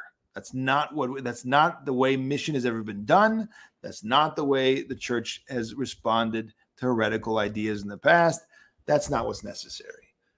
That's the role of church leadership to combat these phenomena, he says. Combating these phenomena is the task of the ecclesiastical figures of the day, but this fight must be grounded in the ancient church and linked to the treasury of the theological knowledge of the Catholic Church. That's exactly what he, he intends to do with this book. One cannot help but notice how, in our time, questions arise and are discussed that have long been quite sufficiently resolved by the writers of the ancient church. Nothing new under the sun. Go back to the sources and you have your answers. Who is not aware that the question of the church is the chief, principal question in modern polemics with sectarianism in various forms? And of course, in conducting these polemics, one must always bear in mind the dogmatic conclusions reached by the theological thought of the ancient church. This is why a study on the history of the dogma concerning the church is able to meet the modern needs of church life. Again and again, he's telling us that's why I'm doing this because I love the church and I, we need to answer to today's threats. And that's why this book is so important. Western scholars have long and extensively been engaged in scholarly research of the history of the dogma concerning church, concerning the church. Catholics and predominantly Protestants, people who are strangers to the church. Let me repeat that. Western scholars have long and extensively been engaged in scholarly research of the history of the dogma concerning the church. And we know why, because they lost that experience. And obviously, they're going to be grappling with that issue far more than we are in the East, in the Orthodox Church. And so they have a long history of grappling with this. The Orthodox are coming late. And that's exactly what happened. Again, I want to stress this was exactly what happened and has to this day been the norm in Orthodox engagement in ecumenism. We've accepted their paradigm, their presuppositions, their experience as the starting point and the context in which we then try to witness to orthodoxy. And it's a disaster. It's not going to go anywhere. It's not going to lead anywhere. They know it. Unfortunately, many of them know it, but they continue because, well, there are all kinds of passions that people have to have to satisfy. There are, and there is, of course, that rare, sincere, zealous cleric or theologian who's trying to do Orthodox mission and witness in the midst of all that. I do not deny it. I do not doubt it, but that's not the norm. That's not the overarching uh, theme, let's say, among the Orthodox ecumenists. He says these have been concerned with the dogma concerning the church for some time. The Catholics, in other words, the papal Protestants, and predominantly Protestants, the Reformed Protestants, people who are strangers to the church. Let me repeat that. People who are strangers to the church. He didn't say the church is partial, the church is uh, a little bit here, a little bit there, we're all part of the church. He didn't say what they will say eight years later in Constantinople, an encyclical to the various churches around the world of Christ, and talk about it as if the body of Christ in, involves and incorporates and includes all these various denominations, as the author of that encyclical said, which was a disaster. And then he quotes for Alexei Khomyakov, who they revered, by the way, contrary to some contemporary scholars, quite justifiably called Catholicism and Protestantism heresies against the dogma of the essence of the church, against its faith in its own self. They've got to the point where they don't even believe the church is divine a human organism, just a human organism.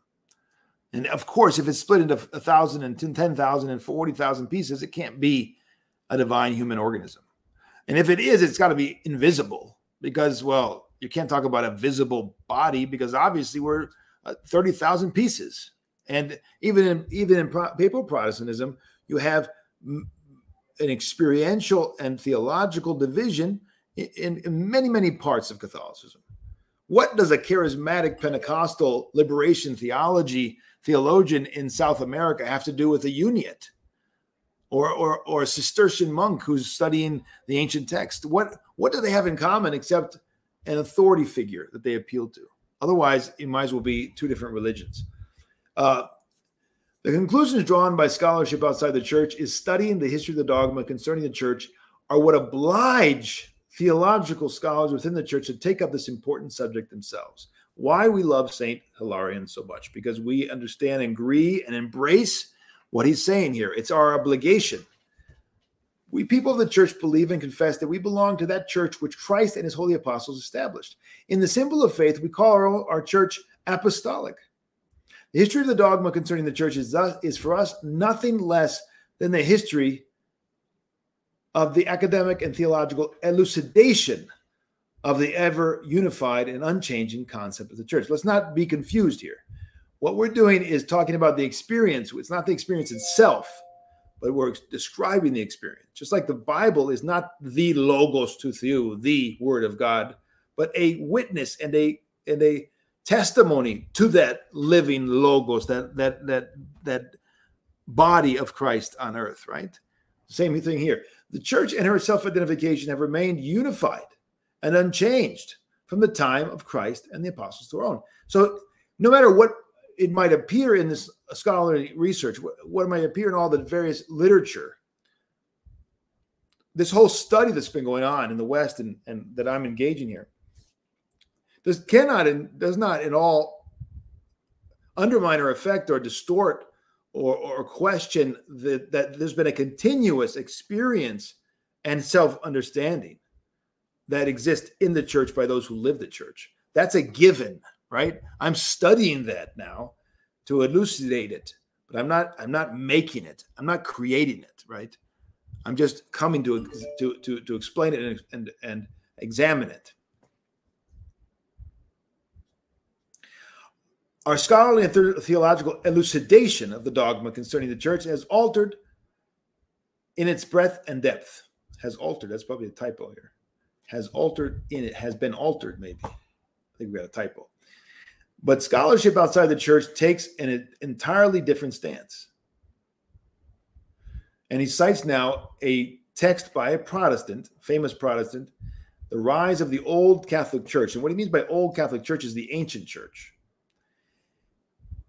So this text is the title of a work by Albrecht Ritschl, who, which more than half a century hence laid the groundwork for the restora- resolution of questions of church history and dogmatic history, which, with certain am- amendments, is advanced to this day by adherents of this Ritschl school, prom- predominantly in Protestant scholarship. So he really played a huge role in German Protestant scholarship. It actually affected a lot of I think, Catholicism eventually. The very title of the work is highly typical.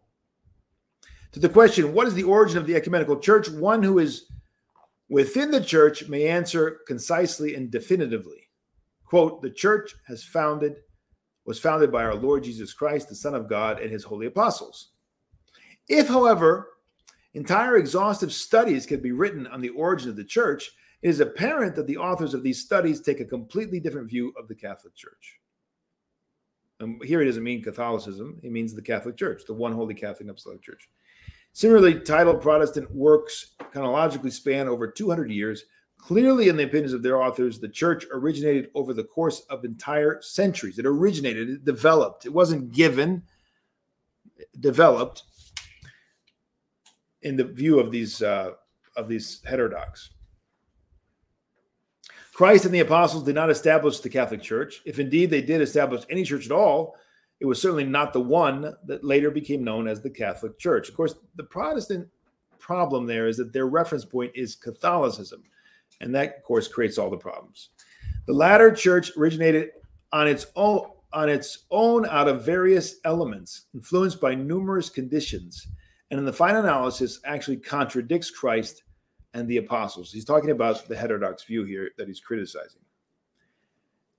It was not heretics and schismatics who distorted the concept of the church, but rather the church itself, they say, gradually altered its essence, retreating from its former self identification. These are, the, these are the sad, pathetic theories of men who have never experienced the church and are fighting against a straw man, a, against a distortion of the one holy Catholic Apostolic Church. That's the tragedy here. For many Protestant scholars, the ancient anti church heretical movements we mentioned before are vestiges of the ancient concept of the church. Lord have mercy. As surmised based on scant and ambiguous information. Thus, it was not heretics who distorted the ancient doctrine concerning the church, but the church itself, which, in condemning Montanism, for example, condemned and declared as heresy something that was formerly ecclesial, its own doctrine concerning the church. You see how contemporary Protestants or the 19th century Protestants he's referring to are projecting their own experience. Of course, they have to. That's where they're coming from. And we all do that, don't we? From our experience, we're projecting back on ancient church. And we're saying, well, here today we have a thousand sects, and we're dealing with this sect called Catholicism. So we should question all of church history now and actually think about the sectarians of the third century as just expressions of the one church. How can such scholarship and such ideas ever find the truth and, and come to be united to the pillar and ground of, of truth, which is the church. What a tragedy. The church as Christ and his apostles envisioned it lasted for a very short time, according to these heterodox. By the second century, the Catholic Church that had originated, in other words, was developing, declared it a heresy, destroyed it, and usurped its place. What a distortion of reality. What a distortion of reality. What was formed was not the apostolic church, but a church hostile to that of the apostles. In other words, the church of the fourth century, St. John Chrysostom, St. Basil the Great, these were this was a church that was hostile to the true church, which had been lost, which was the, essentially the sectarians of the fourth century, third century, second century. It's amazing. There are people who actually speak in a with, with a you know uh, in all seriousness in such a way. Forerunners to the to the nihilists uh, of today. What a tragedy. Along with historical events in the life of the church, changes of the most radical kind were also taking place in the very concept of the church, according to these heterodox. For example, in the third century, a doctrine of the sanctity of the church was developed into a total contradiction to what had been said on the subject in the second century. Well, it seems it would be not be an overstatement to say that this kind of idea of the history of the dogma concerning the church kills and undermines all faith in the church. It's not an it's not an accident, brothers and sisters. In the 21st century, people have lost faith in the church entirely in the West. I mean, I, I've been shocked, not totally, but it's still shocking that in these various um, reels that we've been posting, and and one of them in particular has taken off. It's over 100 and something thousand views in in a couple weeks, which reels rarely are reels you know, Orthodox reels get three, four, ten thousand, but a hundred thousand, and it's on the seriousness of sexual sins. But what's my point here is that the commentary and underneath these is so anti-ecclesial because their whole reference point is a is a uh, distortion of what the church is, and so they've rejected it, and they've become cynical, and they've become, uh, you know, just disgusted with what they understand Christianity to be, which is a distortion. Unfortunately, here here is one of the you know the roots of this 19th century Protestant scholarship that that undermine all faith in the church, which of course means all faith in Christ. You can't have true faith in Christ if you don't have faith in the church, because that's first of all the body of Christ, but that's how we understand who Christ is. That's how we experience Christ. What a tragedy. If we agree with the Protestant exposition of the history of the dogma concerning the church, we must discard the ninth article of the symbol of faith, of course. If you're honest, if Protestants are honest, they have to reject the Nicene Creed, they have to reject the ninth article, they have to reject the first ecumenical, second ecumenical, third ecumenical, all the ecumenical councils, they have to reject it all if they're honest. And they continue to maintain the various heretical ecclesiologies that are pushed within ecumenism. That article combines the Catholic Church with the Apostolic Church, one holy Catholic and Apostolic. It's one church from the beginning to the end, the first and second comings of Christ. It is therefore the duty of theological scholarship within the church. All of our academic theologians should be paying close attention. What's he going to say? It's our duty to give its own exposition of the history of the dogma concerning the church, which may be used to counter how that history is framed outside the church. That's what he's doing. That's why this book is so important for all of us in the English speaking world. Here we have someone who's going to do this job for us. It's going to make it easy for us to go back to the ancient fathers and see that the church had a particular identity and a boundary. And outside that, there were no mysteries and there were no there was no salvation. All those, all the ones commemorated in this book, all the church fathers have that common conviction and, and, and experience. You walk away from the church, you walk away from Christ, and therefore salvation. That's the common witness of the first four centuries, and of course, the whole 20th centuries, 20 centuries of the church. But we're talking about the first four and the examination for this in this book.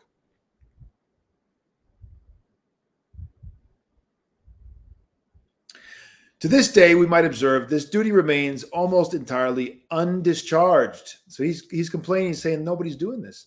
And unfortunately, very few have done it since him. St. Justin Popovich would be one of the great worthy uh, successors uh, to this uh, this great saint. There have been works devoted to the history of the dogma concerning the church, but these have long become obsolete and do not at all consider the new questions that have arisen in the arena of scholar, scholarly knowledge over the last several decades. It, it is this circumstance that determines the nature of the present work on various questions pertaining to the history of the dogma concerning the church. We are preceded by scholars outside the church with whom we have a significant and fundamental difference of opinion. By the same token, there are a great many works dealing in one way or another with the history of the dogma concerning the church, since the history of the dogma concerning the church is intimately linked to the history of various aspects of church life and the teaching of various church writers concerning the church has its explanation in the historical circumstances of their lives and their ecclesiastical and literary work.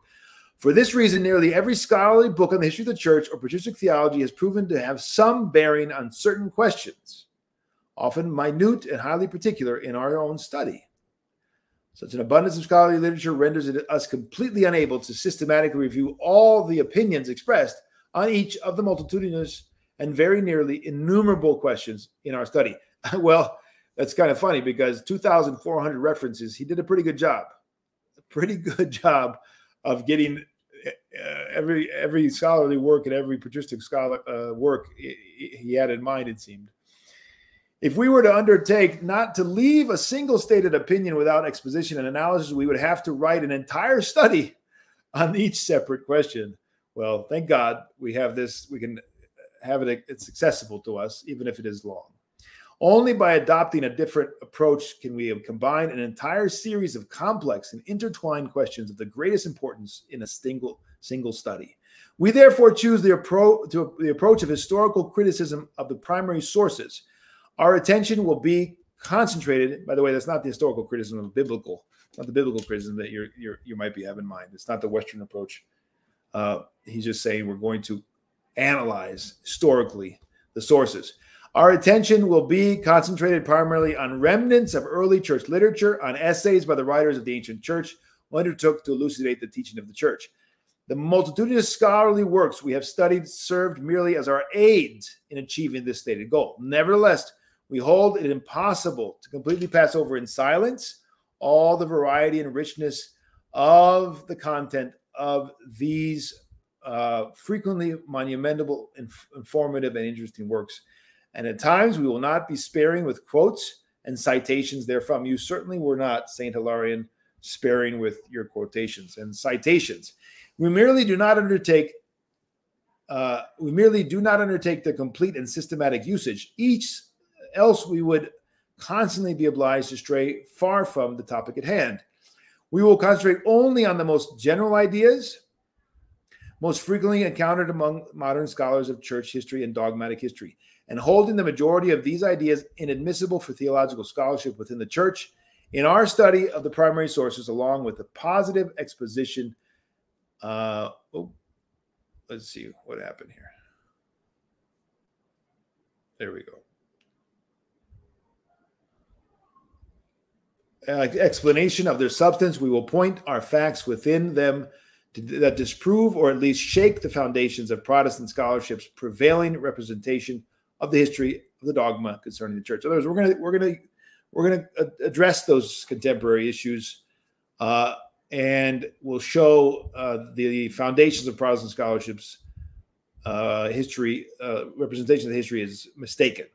In our desire to discern the development of ecclesial self-identification in the writings and theological literature of the ancient church in the course of our study, we may at times have erred from the truth by incorrectly conveying the thinking of the ancient church and passing off our own folly as church doctrine. Here he's doing what every humble study of the scholar of the fathers should do and, and is, is obliged to do and to say, look, look to the fathers. Don't mistake my mistakes for theirs. They're not to blame, but I am to blame. And that's what we're required to do. We can therefore do no better than to say, in the words of the blessed Augustine, as many things as you have as you will have ascertained to be true, keep and bestow them to the Catholic Church. Those that you have perceived to be false, spit out, spit them out, and forgive me, who am a man. And let's remember that in our reading to this book, but also of St. Augustine and all the church fathers, uh, they are men and they can err. And that's why we don't become fanatic followers of one church father, but the whole patristic consensus together. Unfortunately, we have that in the church today. Uh, either they want to make a straw man out of church fathers, as I said earlier, and they want to present their opponents as being fanatical followers of one church father, which of course shows that they don't understand the patristic consensus properly. I think many times it shows that. But it also happens that we have fanatical followers of one or two church fathers. St. Augustine, I think that happens too occasionally, even among converts to Orthodoxy, but especially among the heterodox. And so the same applies here uh, as everywhere that the patristic consensus keep that. Keep that. And, and there may be things in this book that is not the patristic consensus. It's not a perfect book. And uh, uh, uh its, its, value is not in its 100% perfection in every word or in every line or every take, but it's love of the church fathers, its desire to present the patristic consensus, and it's presenting to us the common mind of the church fathers. That's, I think, what we need to focus on when we're reading the book. The author holds all doubt as to the perfect truth of the one holy Catholic Orthodox Church of Christ to be unacceptable. So there is no doubt in the perfection of the church, he says. Such doubt may, may result either from ignorance or from sinfulness. Laboring on the question of the church has taught the author to read the prayer for the church from the daily commemorations with particular love and trepidation of heart.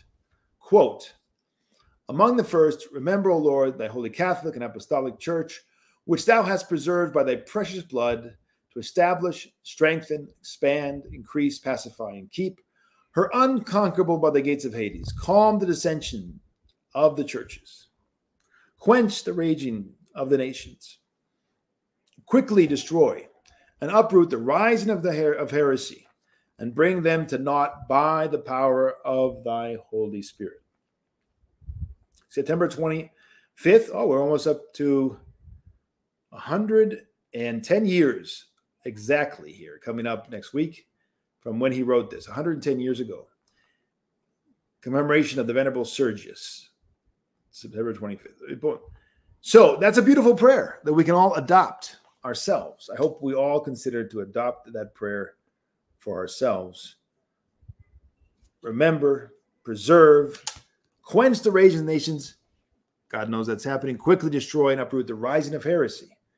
And that it reminds us of the of the uh, prayer of Saint Basil the Great in the Divine Liturgy, very similar to what Saint Basil the Great offers. So, hopefully, brothers and sisters, that's been an interesting and informative and exciting presentation tonight. I wanted to introduce the book to you. I wanted to show you why it's important that we read the book, why it's important that we read the writings of Saint Hilarion.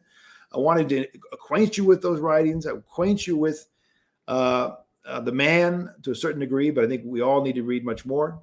Uh, we are going, as I said, we are dedicated in our press or Uncommon Press, along with Saint Nicodemus the Hagiorite and all the Kollyvades fathers we are pledging all of us in our team here and dedicated to take our resources and our time and continue to translate the works, if possible, the entire corpus of Saint Hilarion Troitsky into English over in due time, along with the works and writings of Saint Nicodemus the Hagiorite and all of the Kollyvades fathers. And we're working right now on the translation, including a very important introduction by a, a, very good scholar of the Kollyvades fathers uh, down in southern Greece, of Dorotheos Voulismas' important treatise on baptism. And so that's another work that's going to be coming out from us soon. We're going to pick up soon the writings of St. Athanasius of Paros, very important uh, writer of the, among the Holy Fathers in the 18th century. Uh, but here tonight, we inaugurate our publishing activity with the most one of the most important texts that he ever produced, but certainly one of the earliest, if not the earliest, and that is his master's thesis, uh, an, an examination, an overview uh, the various uh, of the dogma of the church in the writings of the church fathers in the first four centuries. All right, let's open it up to question, and we'll have a nice discussion before we uh, bid you uh, farewell once again. First question, and if you haven't submitted a question, I'm sorry to our uh, crowdcast um, um, brothers and sisters. We didn't have a connection there tonight. I don't know what happened. We just had some glitch. Uh, hopefully, you can ask your questions here, and then we can always pick it up next week in our question and answer sessions on Thursday. Uh, so, the first question Uh, first of all, thank you uh, for pre. He says I pre-ordered the book. Well, thank you very much for pre-ordering the book. You can go to the website. Uh, let me actually put the link here for all of us. Uh, you can go to the website and you can pre-order the book. As I said, we're very close to having it in circulation. The first people who will have access to this book in the English-speaking world will be the conference attendees at next month's Uncut Mountain Press. Um, uh, conference in uh, in Pennsylvania, and uh, so that will be the book will be available, God willing. The book will be available. I said God willing because we're very late, but I think we're going to be able to make it. Uh, let me just uh, paste the link here. I mean, just basically go to uncutmountainpress.com, but uh, there's the link, uncutmountainpress.com, overview of the dogma concerning the church. So thank you for the pre-order. And your question is, should I be reading anything else in preparation? Uh, and I think I've given you at the beginning of this podcast a number of texts online in order to prepare yourself. And I think it's very important. And I want to stress this for all of you who are intending to go buy the book and read this book. It's very important.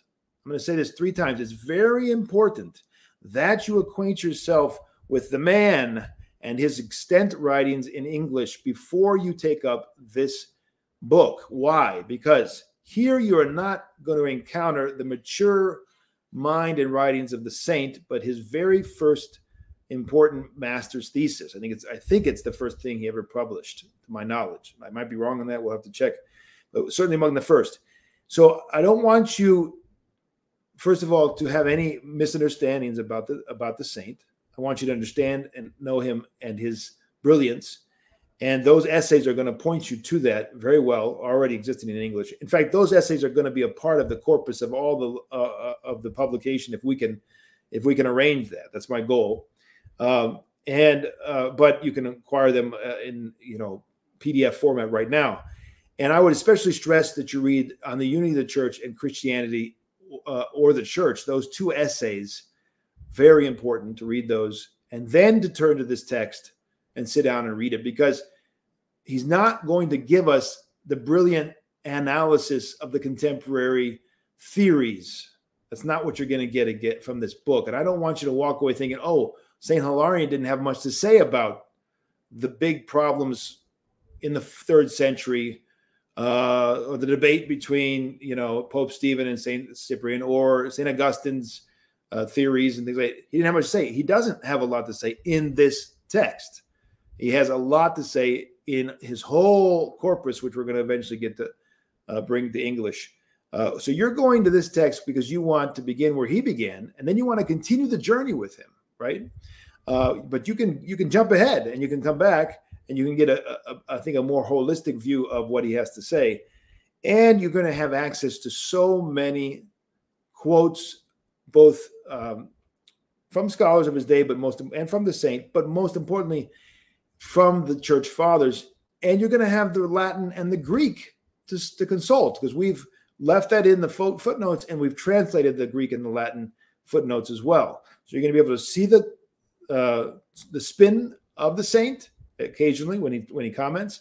And you're going to see the Greek, you're going to see the translation, you're going to see the Latin, you're going to see the translation, and you're going to get a very good thorough grounding in the debate, the question that was, and, the, and how the church faced all those ancient heretical movements. You're going to have a tremendous, in and of itself, walk away with a tremendous uh, array of arrows to, to shoot against the various heretical theories in your mind and in your community and in your in your uh, in your uh, surroundings, your friends. You're going to be able to present. Look, we've seen this before. We've seen this Gnostic idea before. We've seen this heretical, uh, distorted view of ecclesiology before. We've heard the Judaizers before. We know how, how to answer that. Here, St. Hilarion shows us what St. Irenaeus says, what St. Cyprian says, what St. Ignatius says, right? It's going to be a tremendous aid in, in encountering the contemporary regurgitation of all these ancient uh, heretical ideas. Another question How can Orthodoxy be one Holy Catholic and Apostolic when they are not in communion with each other so well to be the one now? Russians and Greeks at odds, no unity with the head churches. Okay, that's an interesting question, but it's a pretty straightforward answer. I don't think um, it, you, you need to worry too much about that. So, if we go back to church history, we have many, many examples of schisms that happened uh, between local churches that were healed. Uh, of course, we have those that were not healed, like the Great Schism when the Pope, after and his uh, and his uh, you know his yard and his followers and all the rest walked away and never came back. But before that, you had temporary schisms in the ninth century with Saint Photios, uh, the, the rather from the Pope fighting against Saint Photios and the councils in Constantinople, and you had a break in communion and you had a, a return. Uh, you had that throughout the fourth, fifth, and sixth and seventh centuries uh, on variety in a variety of times. Uh, so those that phenomenon is not new, and yet at the same time, no one doubts that in the midst of all those crises and struggles, the church was one and the the the holiness and the unity and the catholicity and the apostolicity of the church was never in doubt. So, what do, how do we explain the contemporary trials and tribulations? First of all, we have to observe that we don't have a schism of all the local Orthodox churches uh, with these two that are in schism between themselves. So Russia and, and the Patriarchate, not the Greek, but the Patriarchate, right? Make a distinction. The Ecumenical Patriarchate is not the Greek Orthodox Church. Let me repeat that. The Ecumenical Patriarchate is not the Greek Orthodox Church. They're not Greeks. They're the Ecumenical Patriarchate. Greeks is a term, I guess, used that's very nebulous in, in, in terms of ecclesiastical identity in local churches because you have the Patriarchate of Alexandria, which is Greek speaking, but you have many, many non-Greeks in it. So is it a Greek patriarchate? Well, it's Greek speaking, and there's there's uh, the whole heritage and history of the Greek speaking patristic history there from the fourth century on. So you could call it a Greek patriarchate, but that would be a, not representative of what's going on now uh, throughout the whole of the patriarchate when you have unknown, untold number of tribes and peoples and languages now being uh, catechized and incorporated into the life of the Church of Alexandria. Same thing with the Greek speaking church in, in Jerusalem. Is that a Greek church? That's a patriarchate, ancient patriarchate, uh, that is, for the most part, that the vast majority of faithful are not Greek speakers. They're actually Arabic speakers and they're Palestinians if you want to count up the number of people in that church, they're not, the vast majority of them are not Greek speakers. So is it a Greek speaking patriarchate? Yes. And yet it's not a Greek patriarchate in the sense that you have a monolithic Greek identity and Greeks and Greek speakers are, are, not, are not the majority. Anyway, you get my point. Patriarchate of Antioch, historically a Greek speaking patriarchate. Now uh, everything is in Arabic. And um, and uh, the people uh, identify themselves as Romans, of course. They're Romi. Uh, that's if you ask them in Lebanon, what are you? You're Romans. We're Romans, right? That's the heritage that they have there, and yet they're not Greek speaking for the you know very few people. Uh, so anyway, the ecumenical patriarchate and the patriarchate of Moscow uh, is in schism and over the whole question of Ukraine, and yet the local churches, to my knowledge, all the rest are in communion with both of them. So you have essentially a temporary division of brothers. You don't have the renting un, uh, asunder of the one holy Catholic and Apostolic Church. And um, yeah, So that's how I'd answer that. I mean, we could go on, but uh, that's how I'd answer that.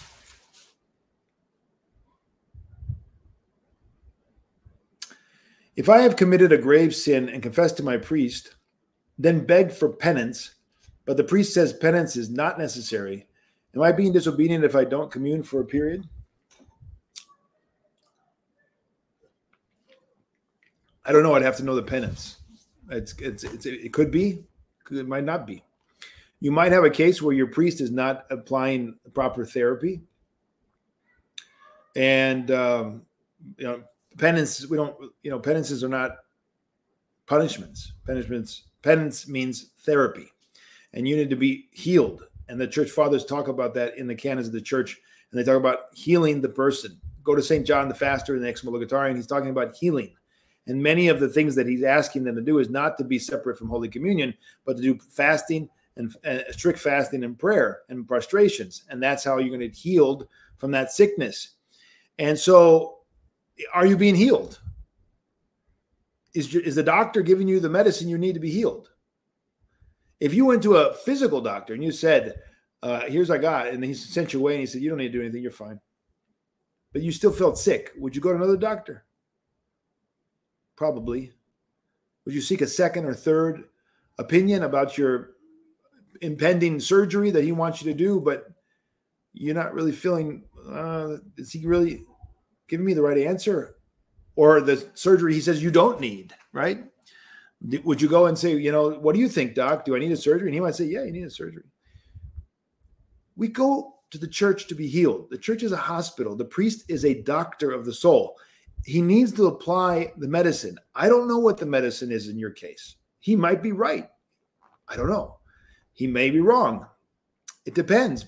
And it'll be based upon the patristic teachings about this particular sickness.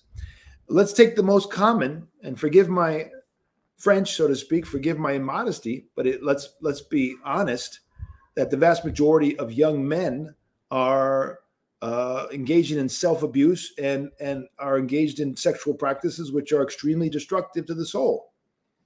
And are most priests applying the medicine, or do we have people going again and again and again and walking away without proper medicine so that they don't go back in a month or two or three and say again the same sick, uh, uh, self destructive, uh, distortive distortion of the human person, which is what those sexual practices are. Their extreme egotism, their extreme self love to the nth degree. And the demons rejoice when people engage in those practices. And if you're not getting healed, go find a doctor who's going to heal you. Don't think that this this uh, the healing uh, that comes through the prayer and the and the, the the prayer of the priest for remission of sins alone is nece- is is sufficient. If that were the case, there would be no canons and no penances ever talked about in church in the in the in the church canons, right? In the church fathers. If it, if all you needed was to say the sin and receive the prayer, why all of the canons? Why all of the literature? Why all of the discussion in patristic literature about how to be healed of various diseases, spiritual diseases? People people who are priests and have bought into the idea that they can throw the rudder into the uh, you know, back of the library and never look at it again because, well, I'm not going to hit people over the head with it. There's two extremes, folks. One is to hit people over the head with it. The other is to ignore it. Don't fall into those two extremes.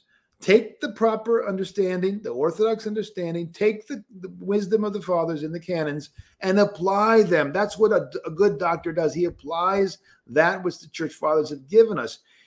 The, the canons and the church fathers are not the problem. We are. We don't know how to be doctors. We don't know how to apply the ointment. We don't know. We've not been trained into healing the soul. And so we take all of this, this wisdom from all of the doctors that have gone before us and we say, no, no, no, that's that's just for fanatical doctors. No, it's not. Apply the the the, the healing. Read St. John the Faster's canons. Read the St. Nicodemus in the Exomologetarion. We, we sell the book on our, in on and Press. You can get the ebook version, unfortunately, the, the printed version is still to come out. We're still working on that uh, to republish it, but you can get the ebook version. Go to the canons that deal with these various sexual sins that many people are suffering from, and read what Saint Nicodemus has to say, and be liberated because it is it is it is so powerful. The Exomologetarion is so powerful in the message that anybody who wants to be healed is going to be extremely edified and be be be um, uh, what's the word I want to use? Catapulted ahead spiritually. So I don't know what to say. You may be correct. You may be in error. I don't know what the priest is telling you in terms of healing your soul of the particular passion that you are falling into, a sin you're falling into. Next question Is there an Orthodox theology exposition you like, especially for new converts? Orthodox dogmatic theology by Father Michael Pomazansky, translated by Father Seraphim Rose, or patristic theology of Father John Romanides? Question. Look, every contemporary dogmatic theologian today has something good to offer. They're not perfect. I'm not going to go to war against any of them. I'm not going to become a polemic against my fathers. I'm not going to join the academic theologians and their and their smart aleck stances and say Pomazansky was was influenced by scholasticism or whatever they might say about Father Michael, the blessed uh, uh, priest and teacher of Jordanville. I'm not going to go after Father John Romanides and skewer him and say he's throw him out, he's a heretic. I'm not going to do that. What am I going to do? I'm going to seek out the patristic consensus in and through their works and the works of the church fathers. And there's plenty there. Be the bee, be the bee. Go there and read. And you might say, well, I don't know what to say about this. Is he right or wrong? That's okay. You don't need to uh, figure it all out in the first read. Read it, have it in mind, keep going, keep reading.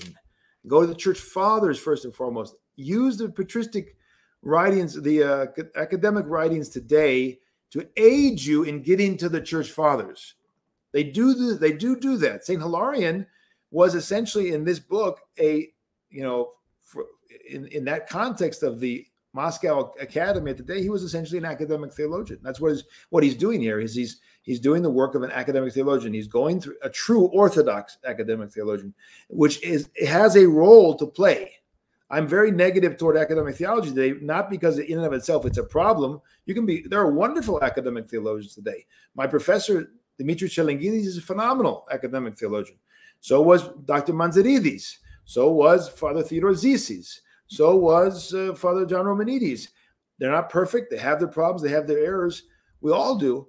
But so I I I, I don't want to you know throw throw the baby out with the bathwater. But what I want to say is their role is still to follow the Holy Fathers, to point us to the Holy Fathers. It's not to to to innovate. It's not to to pontificate. It's not to speculate. And insofar as they are faithful in that role of, of connecting us to the Holy Fathers, they become in the in their own way and to their own degree followers of the holy fathers and links to the holy fathers so i would say yes father john romanides two volume let's see got it right here actually i was looking at it for my my uh, uh, lecture that i'm going to give in a few weeks you've got two volumes here let's see if we can get it empirical dogmatics of the orthodox catholic church uh, but this is actually not by Father John Romanides per se. It contains a lot of his teachings. It's by Metropolitan Rhodas Vlachos. And yes, you're going to find problems in there. I totally disagree with Father John Romanides on his question on his uh, treatment of evolution. He doesn't get into it much at all, so that's the good news. But he's wrong, and Father Seraphim Rose is right. Okay, Calomiros was wrong too. Calomiros had a wonderful book against false union, written in the 1960s uh, the great Kontoglou praised Calomiros, all right, Alexander Calomiros, but he was wrong on evolution, dead wrong, and tragically wrong. And yet he was very good on the question of ecumenism in his day, one of the first to write against the spirit of ecumenism in the 1960s.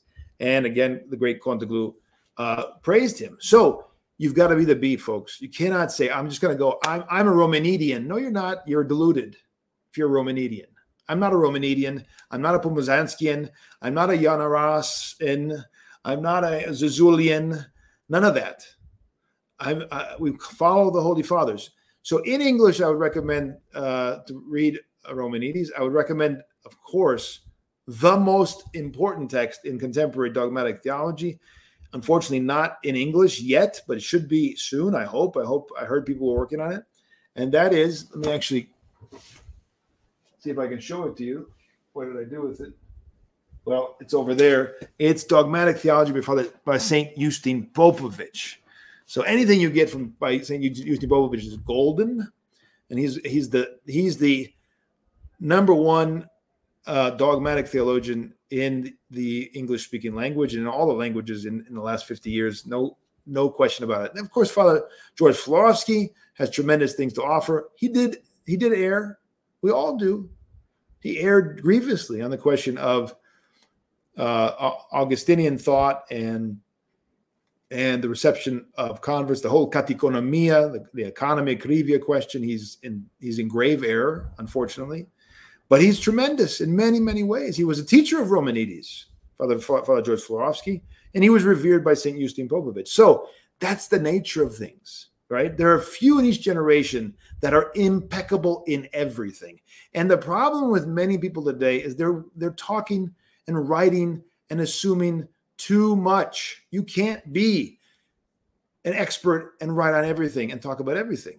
Choose your battles and go go deep in that and and remain there following strictly the holy fathers don't become a know-it-all right the more you go in terms of horizontal and you talk about everything the more likely you're going to err and that's something i need to listen to and hear because people want me to talk about all kinds of issues and want me to answer everything and i'm not going to be able to do that i'm going to make errors it's impossible i'm not I, it's just humanly impossible to know everything about everything. Okay.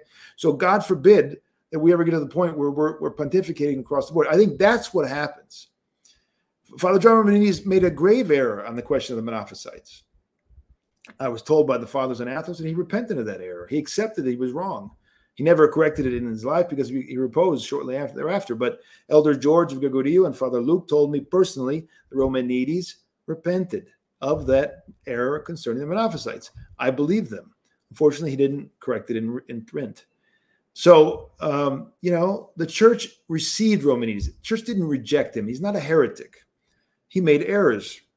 So did St. Augustine. We don't reject St. Augustine.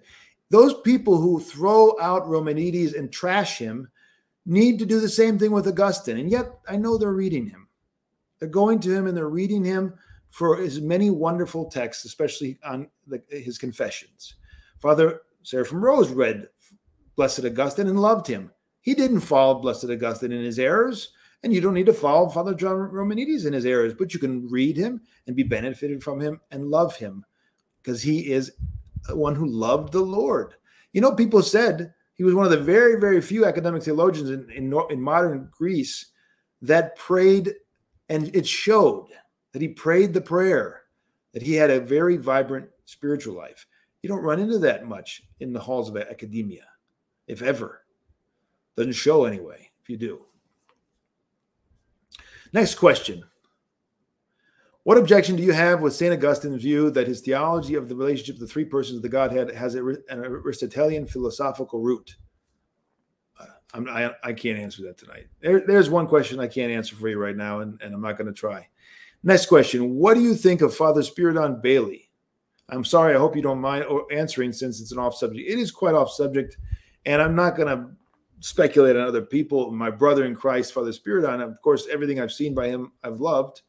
I don't have any objections. I don't know what else to say, but that he uh, he and I are friends. We talk occasionally, and his work, uh, to what I can tell, is wonderful. Uh, very pious and very sincere, and following the Holy Father's but I'm not an expert. I haven't watched everything, so you know, take it take it for what it is. But I would say, yeah, it's it's, it's good stuff.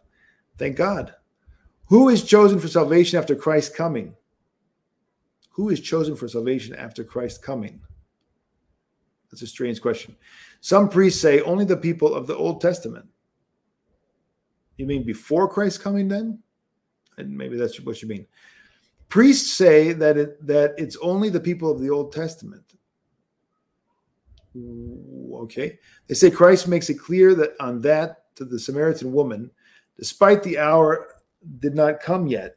Is that true? One of the those priests brought a rabbi to pre- present the Orthodox for the Orthodox Christians to ask him about the Orthodox faith. Is that normal? Okay.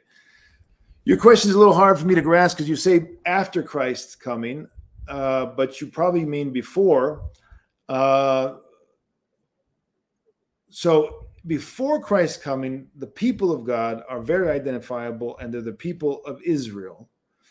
So when we talk about the the, the equivalent of the church, the, the, the, those who gather together as the people of God in the Old Testament, it's Israel, it's the prophets and all those. But obviously in Israel, you had tremendous apostasy. You had people who killed the prophets, didn't you? And you had all kinds of apostasy. So does that mean that they were all saved because they were Jews? No. And when when they left this world without salvation, as the Apostle Paul clearly says, they, they, they needed to wait for the coming of the Messiah. And then when the Messiah departed into Hades and preached, well, first the, the, the, uh, the forerunner went and preached the coming of the Messiah, and then the Messiah himself went. All those who wanted and embraced the truth of Christ were saved. So, can we say that it was impossible for those who were not a part of the people of God before the first coming to be saved, when they were given that opportunity with the preaching in Hades and the presence of the Lord in Hades, I think the general consensus is that that before the first coming, those who sought and loved Christ, loved the truth in in whatever way, would have embraced Him in Hades and would have been saved by Him after the first after the coming of Christ, uh, again, identifiably, the people of God are the church, the body of Christ, those who who He has uh, through the mysteries made His member members of His body. That's a very clear, identifiable, just like in the Old Testament, just like Christ Himself when He walked on the face of the earth. It's very clear the boundaries. It's very clear who Christ is and where Christ is. One of the cacodoxies that unfortunately Orthodox have embraced in this day and age, which is a tragedy, is this bad application of something St. Irenaeus says. I talk about this in my book uh, on the ecclesiology of the Second Vatican Council and in my lecture series on ecclesiology. And that is this idea that they take this idea of the, of the Holy Spirit being in all places and working and filling all things, of course. And that outside the church, the Holy Spirit is at work, of course, working to bring people to Christ, of course uh, and they take this this obvious truth and they say, well, therefore, we know where the church is, but we don't know where the church isn't because the Holy Spirit is working all throughout creation and people are embracing and following the Holy Spirit, and therefore they're a part of the church. Well, this is very confused and problematic and not applicable, and it's a distortion of our ecclesiology and the truth of things. The Holy Spirit is definitely working outside the church but it's not working as it works in the church because the presuppositions are not fulfilled outside the church. And in the beginning of that is with initiation, catechumenate and then initiation. Those two things have to come together, right? They're they're they're they're inseparable. The catechumenate leading to the initiation. That's when purification, illumination, and deification starts. And in that context, then we can talk about the body of Christ. So we know where the church is, the body of Christ, and we know where it's not course we have to. Those two things have to go together. We know where Christ was. He was on the eh, Mount of Olives, and we know where he was not. He was not there among uh, those members of his body who were denying him. He was not there. He had they had departed from him. He was not there. He was with his apostles. He was he was on the Mount of Olives. Uh, does that mean the Holy again? The Holy Spirit's not no, but we know where Christ is and we know where he is not. So to go back to your question, before Old Testament, we talked about that, the preaching in Hades. I would never bring a rabbi to teach anything to anybody in the church. Why? Because he's rejected the Messiah. he's rejected the Messiah. He's like one of those in Hades who said, "Nah, I don't think so. I don't know you." He's like one of them who who who, who said, "Crucify him, crucify him." What are we talking about here? Have we lost our mind? The, the rabbis post Christ reject Christ If you're a rabbi, you reject him. That's what it means to be a rabbi. You're in the you're you're part of those people, the Jewish people who did not receive the Messiah.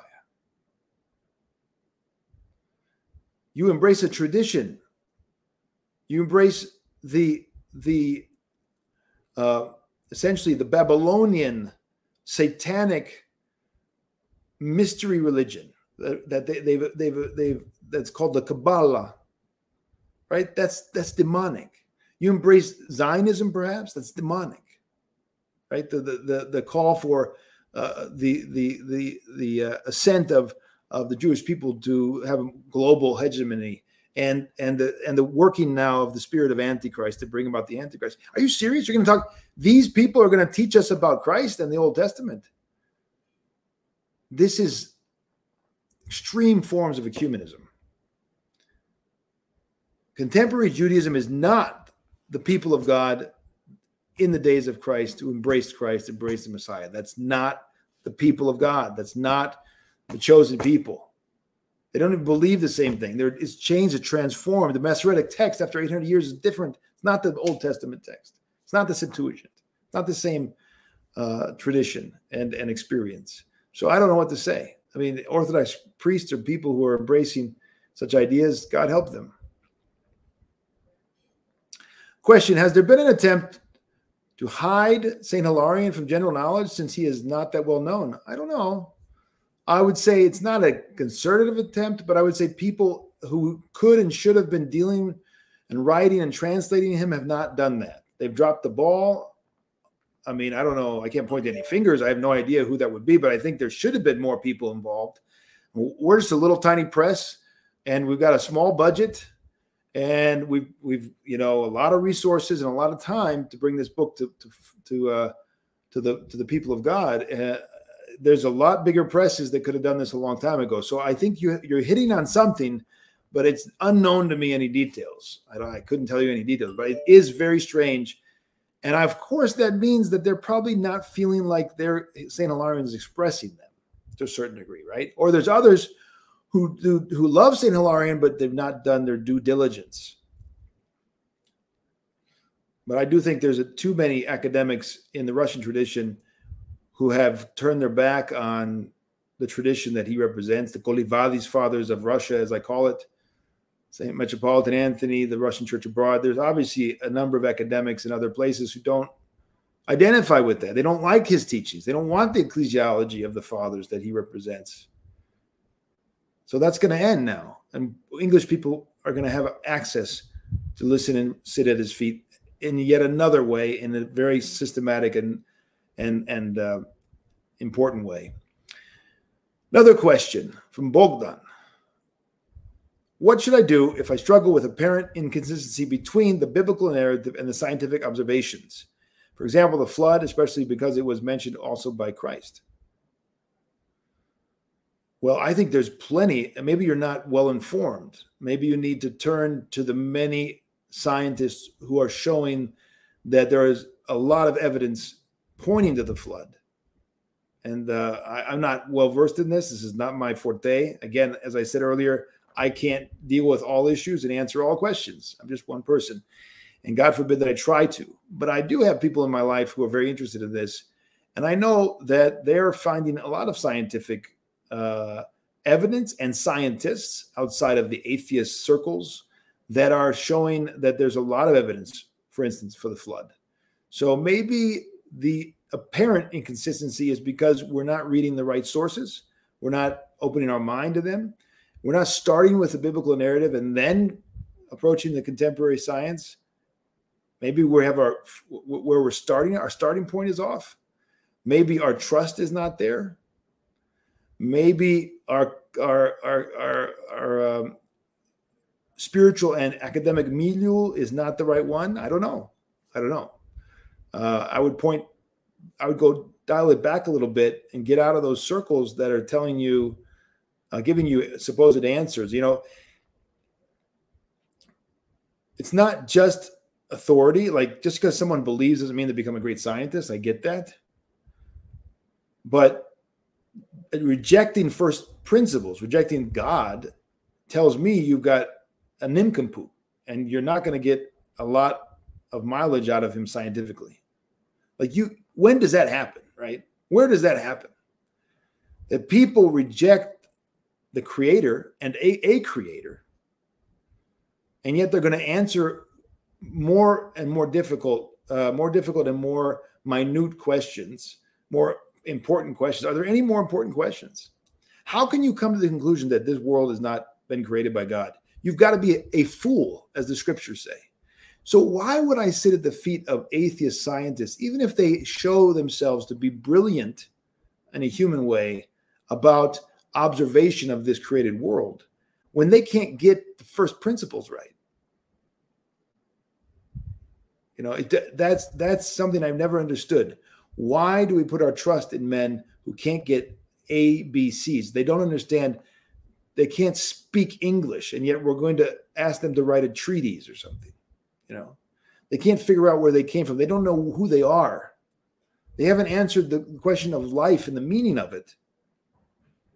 They suppose that things just one day blew up in the vast universe, this creation that is so marvelous and inexplicable and endless, it just came out of nowhere. I mean, who says such nonsense and you're going to sit at his feet? I don't know. Maybe that's the problem. Maybe. But I'm not I'm not going to be able to get into details because I'm not a scientist and I'm not a theologian who's dealt extensively with uh, the question of creation and the, the, various theories like Darwinism and all the rest. You know, I, for me, it's enough to read Father from Rose and um, and a few others, and and I'm I'm okay. I don't need to go deeper. I'm not troubled. Next question: If one church is out of communion with another church, what does it mean spiritually for a person to commune anyway? Can a layman switch jurisdictions at will, or do they need a blessing? All right. So as we said, in the contemporary situation, Orthodox churches all around the world are in communion with one another, except for that particular schism between Constantinople and Russia. I, I don't think it's been spread beyond that. I know there are antagon, antagonisms and crises with the Patriarchate of Alexandria, for instance, in Russia, but I don't think we've got to the point where they've ceased com- uh, communion with Russia. So it is still a main, a very contained problem, and I God forbid that we go any further. But if there were developments in that realm, and we had a open, massive split between local Orthodox churches, of course, you and I and everyone around the world would be faced with understanding and choosing which is maintaining the holy apostolic tradition, which is following the saints, and which is uh, faithful to the to the to the to the fathers and to the apostles. We'd be faced with that. To a certain degree, we're already faced with it on an intellectual and a spiritual level. We all have to face this question: What's going on in Ukraine? Who has? Who's correct and who's doing what the Holy Fathers and the Lord the Lord desires, and they're following the Holy Fathers. I've said to you in the past. To me, it's pretty obvious that the Patriarchate of Constantinople is an error, grave error and there's been treatises written why they're in error from Greek theologians like Father Anastasios Gotsopoulos or the Metropolitan in Cyprus, Nikiforos. And they've shown clearly that they have no basis to do what they did in Ukraine. And this is not coming from Russians, but from Greeks. Greeks. So, Greek speakers, people in the, in the Church of Cyprus, for instance. Um, because the whole term, I'm, anyway, I'm on a tangent, but the whole term Greek is problematic. These people around the world are Romans, Romi, Romi and they're Greek speakers. That's a difference than be Greeks, but that's another question anyway. Um, so I think that we need to come and say what's going on here. We need all of us to understand what's going on here, and we need to act accordingly uh, and and work in our own little way to put an end to the schism and to put an end to the delusion uh, that's being promoted, uh, and and that this this uh, uh, these non-ordained uh, schismatic uh, figures in Ukraine are not Orthodox bishops and should not be received as Orthodox bishops. And it's, it's a tremendous problem for those who have to, you know, are, are facing this and are, are, following bishops who are teaching this. It's a tremendous problem for the church. But that doesn't mean that at this point we have an ecumenical council that said that here's the boundaries. We haven't had a clear break throughout the Orthodox world. So I, I would say that none of the, there's no basis to say anywhere that there's graceless mysteries or uh, you know Mount Athos is you know since under Constantinople because the hierarchy of Constantinople is in error about this. They're all graceless or something. None of that can be said. Nobody can say that. There's no authority on anybody to say that, and there's no reason to say that. There is reason to say, wait a minute, the the the the very deceitful methodology that's being carried out to solidify this schism and solidify the acceptance of these schismatics against the consensus of the most Orthodox Christians and against the patristic tradition and all the rest that has to be countered. That has to be resisted. And it, it's not it's it's it's it's impossible to be indifferent to that because it's a it's like a cancer. And if we all just go about our business and are all indifferent we're part of the problem. We've got to at least pray about it. We've got to at least be a pain of heart about it. And and and and and to work against it being furthered. Spiritually you can commune in any local church. I don't see any implications at this point for that. I spoke to my mother's preacher, and he brought up in Matthew at the end, Jesus says to baptize in the name of the Father, and the Son, and the Holy Spirit, that they are titles, not names. We say in the name of the Father and the Son and the Holy Spirit. What's he talking about? So that's why they baptize in the name of Jesus. He also brought up Acts 238.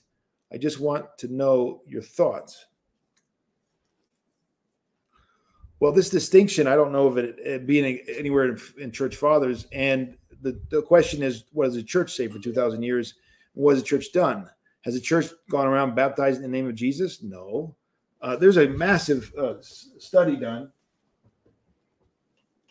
uh, by a Protestant scholar right here. History, theology, and liturgy in the first five centuries, baptism in the early church.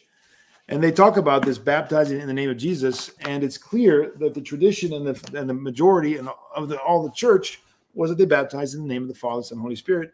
And there's three immersions with each name. That's what the church has taught and lived for 2,000 years. So whatever they say, whatever distinctions they make, is irrelevant. Nobody asks them. Nobody cares what they say. What has the church said? What do the fathers say? That's what matters. Why would I care what a Protestant in the 21st century thinks? Why would anybody care what I think or you think in the 21st century? The, the question here is his take on it. Before we even get to whether it's right or wrong, why are you not following those who came before you, as all Christians have done for 2,000 years? Why would your take on it matter? Why do that's what I don't understand about all these 30,000 Protestant sects. They have such self trust they're going to sit down and say, well, that's how I read it. That's how I understand the Bible. I think that's the way it should be. Who cares what you say? Nobody cares. You shouldn't care.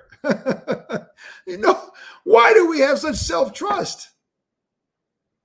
What matters is what the saints have said for 2,000 years, the consensus, the patristic consensus, and what the church has done for 2,000 years. If you're ignorant of it, that's a problem. Stop being ignorant. Stop being ignorant of what they've what they've taught and done. You can go back again and again throughout church history. It's a consistent practice. Baptize you in the name of the Father, the Son, and the Holy Spirit. Each time, one immersion. Uh, I don't know. I can't, you know, go into the whole apologetics for that, but that's the practice and that's the faith of the church for two thousand years. Another question: why are the different the difference between different parishes priests in the orthodox church regarding the frequency of administration of the eucharist some weekly some only during the four fasts thank you for uh, that question bogdan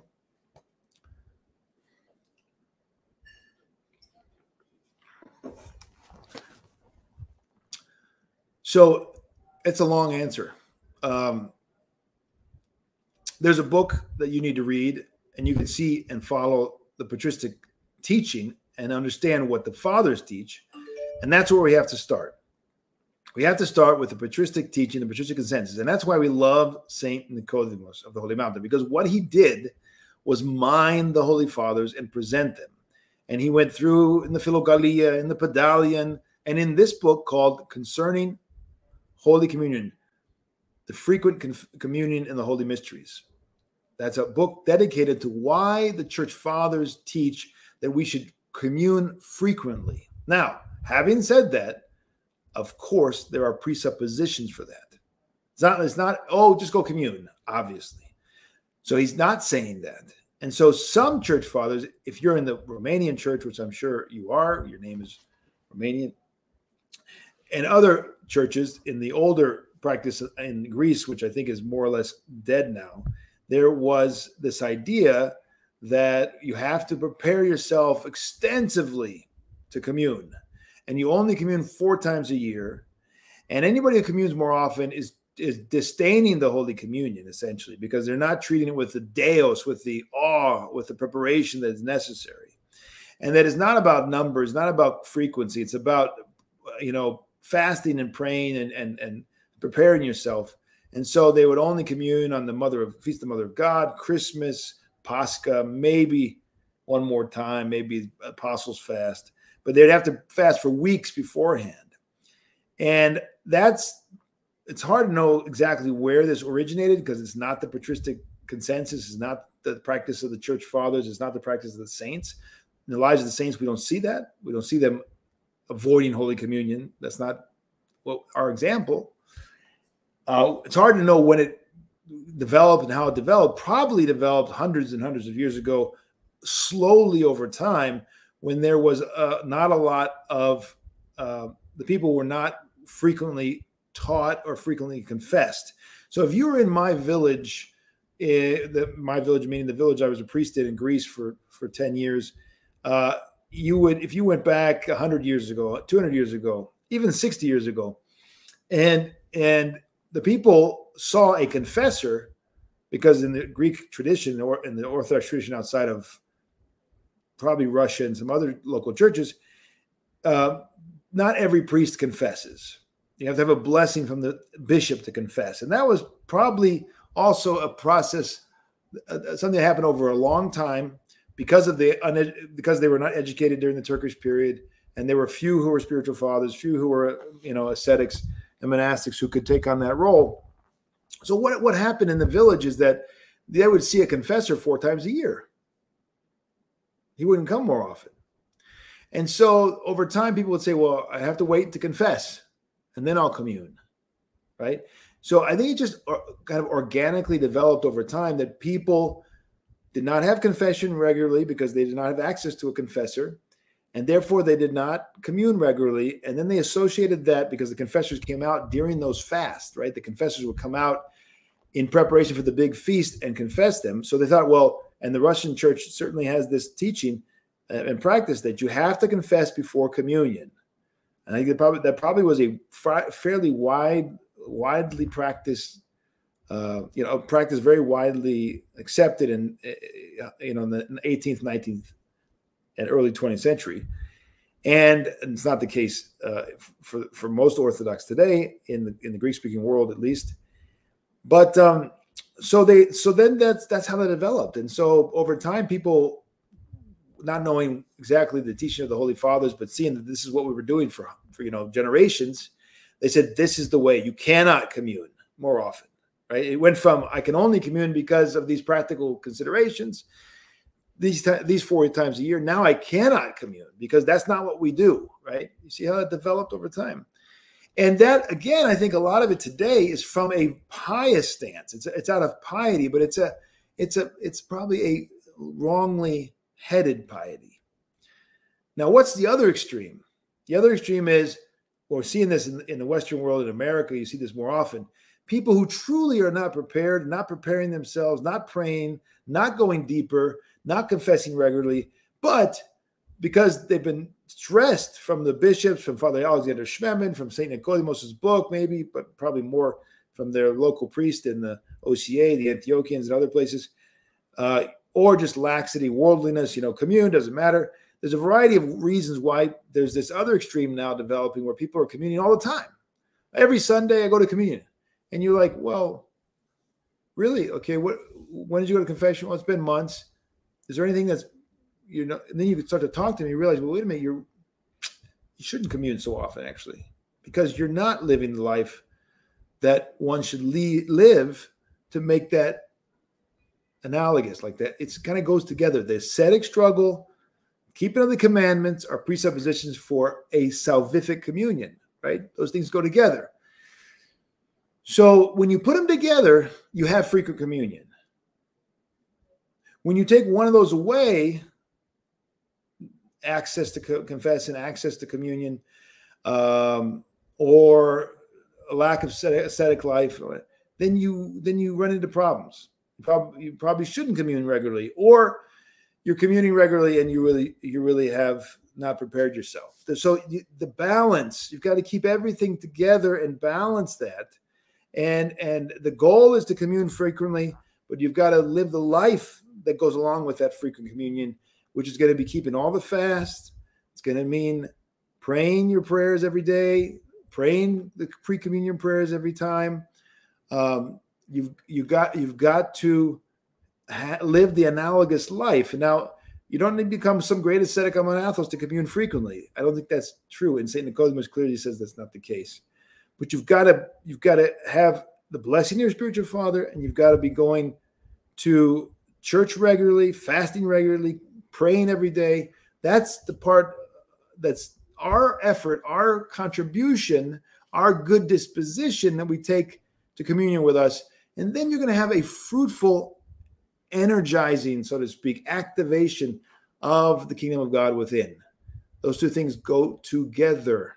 Same thing with preparation for baptism. If you're a catechumen, and you're not properly prepared, you're not properly initiated, you're not going through the purification process, throwing off the old man, trampling on the sins of the flesh, turning your back to the mentality of the world, turning away from the old man. If that's not happening, and yet you're going to be baptized next week, that's not right. You got to prepare yourself and be ready to embrace the life, not just theoretically, the faith right?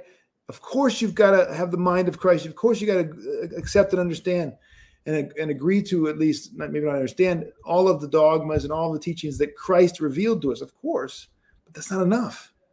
You got to live the life too. You got to be prepared to live the life. That's what the catechumenate is going to do for you. It's not just read another book or two and then go to be baptized. That's a travesty. That's like saying people, doesn't matter if you fast on Wednesday and Friday. Doesn't matter if you pray much. Doesn't matter if you say the pre-communion prayers. Commune every Sunday. And there are people who say that. There are people who say because in the divine liturgy the priest says, with faith, fear of God, faith and love, draw near. It's like a commandment. You must draw near. You, if you're in divine liturgy, you must commune. There's people who actually say that's nonsensical. It's idiotic. It's like it's like a literal interpretation of the Bible. Like you just sit down and the Bible says, pluck your eye out. I must pluck my eye out. Divine liturgy says I have to commune. Oh, I have to commune. No, no, no, no. No, that's presupposed. That priest is saying that because it's presupposed that you're doing all that in order to commune. All right, so I think I've presented you that there's two extremes. The royal path is, is, is the goal of frequent communion with proper preparation and frequent confession. So you you up the ante of the ascetic life, you go to communion free, more frequently. That's how it works. You are worldly and, and, and indifferent and you don't struggle, don't go to communion that often because you're not gonna you're not gonna approach with the fear of God and faith and love. You're not gonna have that. It's not a, it's not just desiring it, you got to live it to make it real, right? And have those virtues.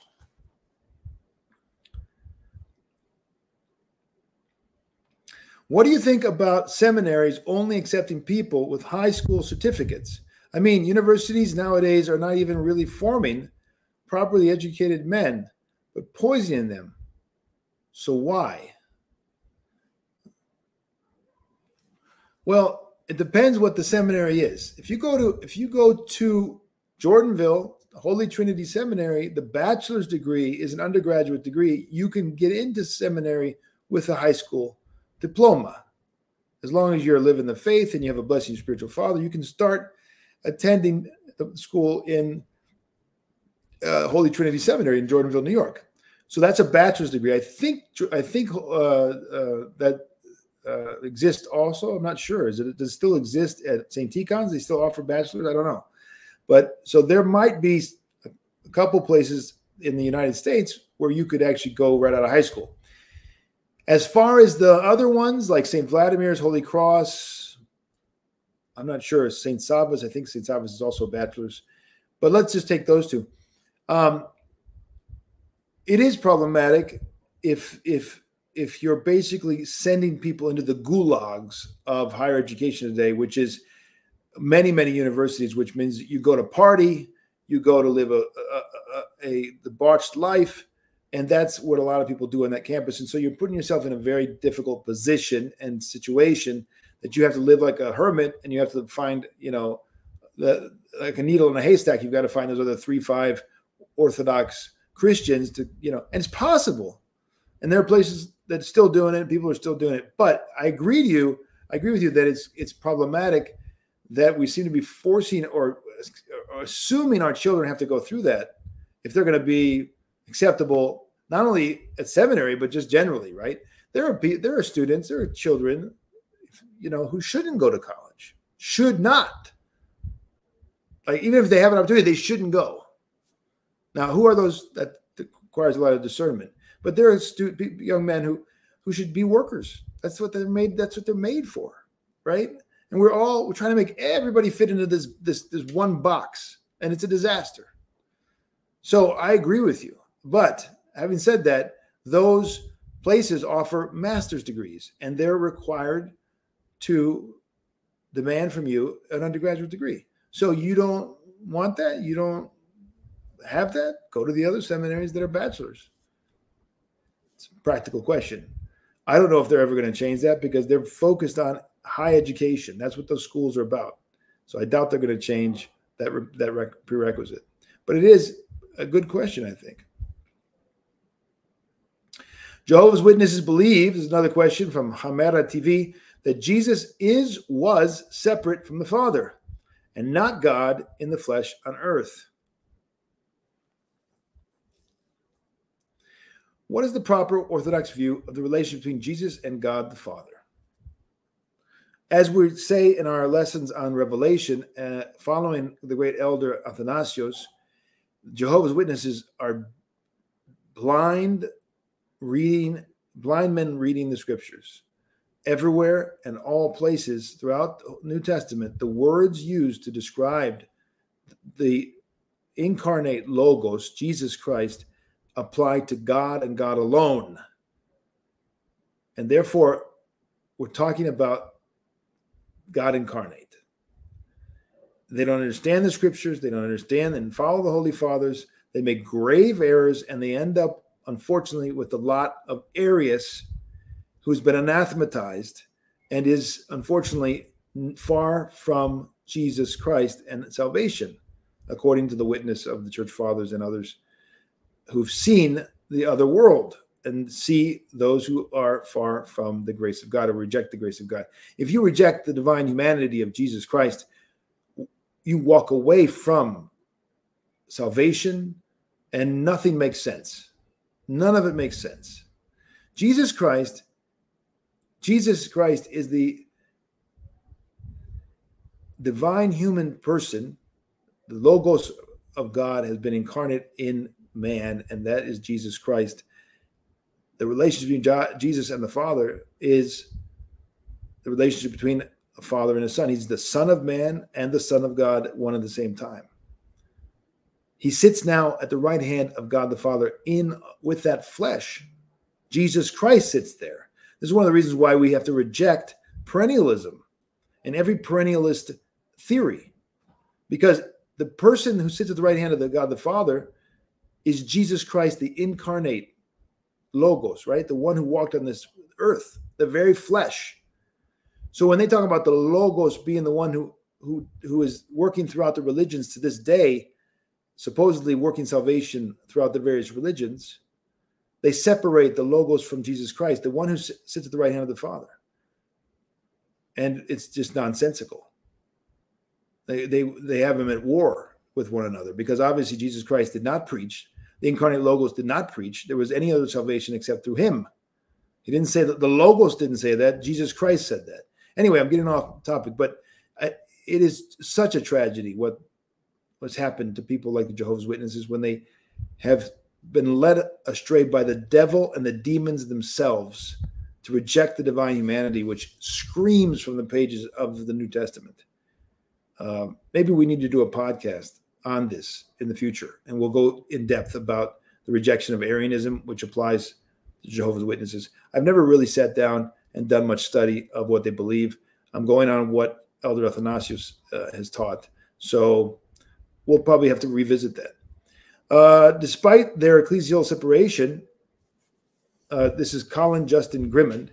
I view both the non Chalcedonians and the GOC Old Calendarists as closer to the church and its ethos than Western Christianity, your opinion. Absolutely no question about it. In terms of their ethos, there's no question about that. Um, however, having said that, we're in dangerous territory in one respect, and that is that true Orthodox ethos is inseparable from the dogma. And so we're talking about something that, like Christ himself, it exists incarnate in the body. And you can't talk about it autonomously if it, you're talking about it holistically. So, what is possessed by those who've departed from the communion of the church, and now we're talking about non Chalcedonians for 1,500 years, what's possessed cannot be the Orthodox ethos in, in, in, in its, I don't want to say in, in its entirety because it's not a quantitatively, you can't quantitatively speak about it like that. You can't, you can't speak about it in portions or in, in, in, in with numbers because it's it's the person of Christ. It's the it's the life of Christ. And that can't be separated from the dogma and it can't be separated from the body. So we see the fruits of that life very intensely in those who are closest to the life of the church. Just like you in Greece, if you go to Greece today and you go among people who don't go to church often, and maybe even people who don't even believe in Jesus Christ anymore, but they're they're unbeknownst to themselves, they're living off the dregs or the maybe the dregs is not the word but the the the ascetic struggle and the piety of their forefathers whether they like it or not whether they know it or not. And so you run into people who have that orthodox philotimo that ethos or at least the effects of it in their life because i don't want to divide it up and make it something quantifiable like that. It, that's that's a problem um, when we talk about it like that, because then you can have you can you can talk about partial communion, and you can mean that we're actually communing in the mystery of the church in in in in you know percentages, but that's exactly the heresy preached by Second Vatican Council, which the Orthodox must reject as an innovation and not the patristic ecclesiology. Uh, but it's undeniable that the that they're they're living off of that treasure even if they themselves do not have it holistically as such. Greco calendars are a different story. I wouldn't put them in the same bag with the non Chalcedonians. I don't think that's, I mean, look, we're talking about a schism that's very much healable, it's very new. And um, in many ways, that we have holy men who lived in the 20th century, uh, like Elder Hieronymus of Aegina, or, uh, you know, um, others who were very zealous to defend the church calendar. Uh, so I wouldn't put those two together in the same category. I think there's, and anytime we do that, we're going to make mistakes, right? Uh, that that schism needs to be healed, and it's going to be healed. I believe, in part. I don't think all the, all of it will be healed. I think, unfortunately, there will be a portion that will continue, no matter what happens no matter if, if ecumenism is condemned in council, there will be a portion of the Greek Greco calendars who will never unite again, unite themselves to the Orthodox, and that's a tragedy. But I think there will be a healing. There will be there will be an overcoming of the heresy. It's not it's not possible for there to be a mission to the world before the end, and there will be, if that is not overcome, there will be an Orthodox council. There will be a cleansing of the church. There will be a new crew in the church, and the contemporary heretical hierarchs will be uh, shamed by the by by their uh, by Orthodox bishops in due time. And when that happens, the struggling pious among uh, those separated by the by the uh, schism of the old calendar, you know, old calendar schism, they'll be they'll be united, I think, and and I think that'll be a wonderful day. I don't know how many. I don't, I don't, who knows? God knows. So I think that that's a much, you know, much different than the 1,500 year schism of the new of the non Chalcedonians, which, you know, let's learn our history, folks. They tried to heal that again and again and again for hundreds of years. Saints have tried to bring that about. And again and again, it's been a shipwreck. And if we believe that Holy Spirit guides the holy councils, we believe the Holy Spirit guides the church, we believe we believe that God is, is the God of history and he controls all of history. Is it possible for us to turn back? The church fathers like St. Maximus, St. John Damascus, and all these other church fathers who've written and dealt with this over time, St. Sophronius or whoever, and to say, well, they didn't get it. They didn't get it. It's the Fourth Ecumenical Council, they didn't get it. We need to overlook all their work and the attempts and all that and, and realize that God was somewhere, I don't know where God was, but he wasn't there in, in Chalcedon. They didn't get it. They weren't God illumined. It's impossible to say that. It's undermining all of our faith in the body of Christ. It's it's it's just it's just nonsensical. So we're talking about a, a thousand five hundred year schism that I you know there are many wonderful things, but we can't talk about the body of Christ in pieces. It's not possible to talk about the body of Christ in pieces. And that includes the dogma and the ethos because they're inseparable from the person of Christ. Ultimately, we can talk about it in a, as they say in Greek, katakristika, we can use the term, right? We can use it and abuse the term for, for in a way to describe what we experience and see. But we have to be very careful the implications of that. I think I've said it pretty well when I started to answer this question. I'm not going to, I don't want to make it worse. All right, next question. Go ye therefore and teach all the nations, baptizing them in the name of the Father, and Son, and the Holy Spirit. Yes. Oh, it's a follow up to the previous question by the Protestant. The pastor points out that the word name is singular because it's the persons of the Trinity. Yes. So he says he doesn't go to that pastor's church, but try and understand. Gave, okay. Oh, I see. Okay. So, yes, they're, they're names, though they're singular names of the three persons of the Holy Trinity. What what's the what's the problem? We believe in th- three persons of the Trinity. Is he trying to figure out the mystery of the Trinity or something? I'm not sure what what his problem is. It says baptizing them in the name of the Father, Son, and Holy Spirit. Each each of them has a name, and the collectively they have the name of the Holy Trinity. Both and it's both and right. That's what we do in Orthodoxy. It's not one or the other. They each have a name, and the name of all of them together is the name of the Holy Trinity. It's a mystery. He just needs to accept it. He just needs to accept it. He doesn't need to analyze it and then innovate. Just accept that that's what we're supposed to do. Name, Baptizing in the name of the Father and of the Son and of the Holy Spirit. That's what we do. That's what we do. And we've done it for 2,000 years. And we immerse three times with each name, the one Holy Trinity the one name of God. Three persons, one name. Anyway, all right. I think that's the end.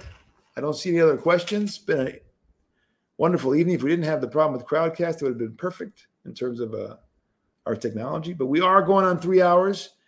You've been a great, attentive crowd. I can tell by the questions. And you've stuck with us for most of you for three hours. Wonderful. Thank God. I hope you'll Run to Saint Hilarion as a trusted and true teacher of the Holy Fathers and a presenter. Read all of his corpus and pray for us as we struggle to bring it all into English to help the people stay away from the delusions and the heresies and the schisms and all the all the rest through the prayers of the great hieromartyr who gave his life for Christ through asceticism, through teaching, and then with his own uh, suffering. So, through the prayers of our Holy Father and teacher. May we all make progress. May we all make progress and reach the heavenly kingdom. Good night.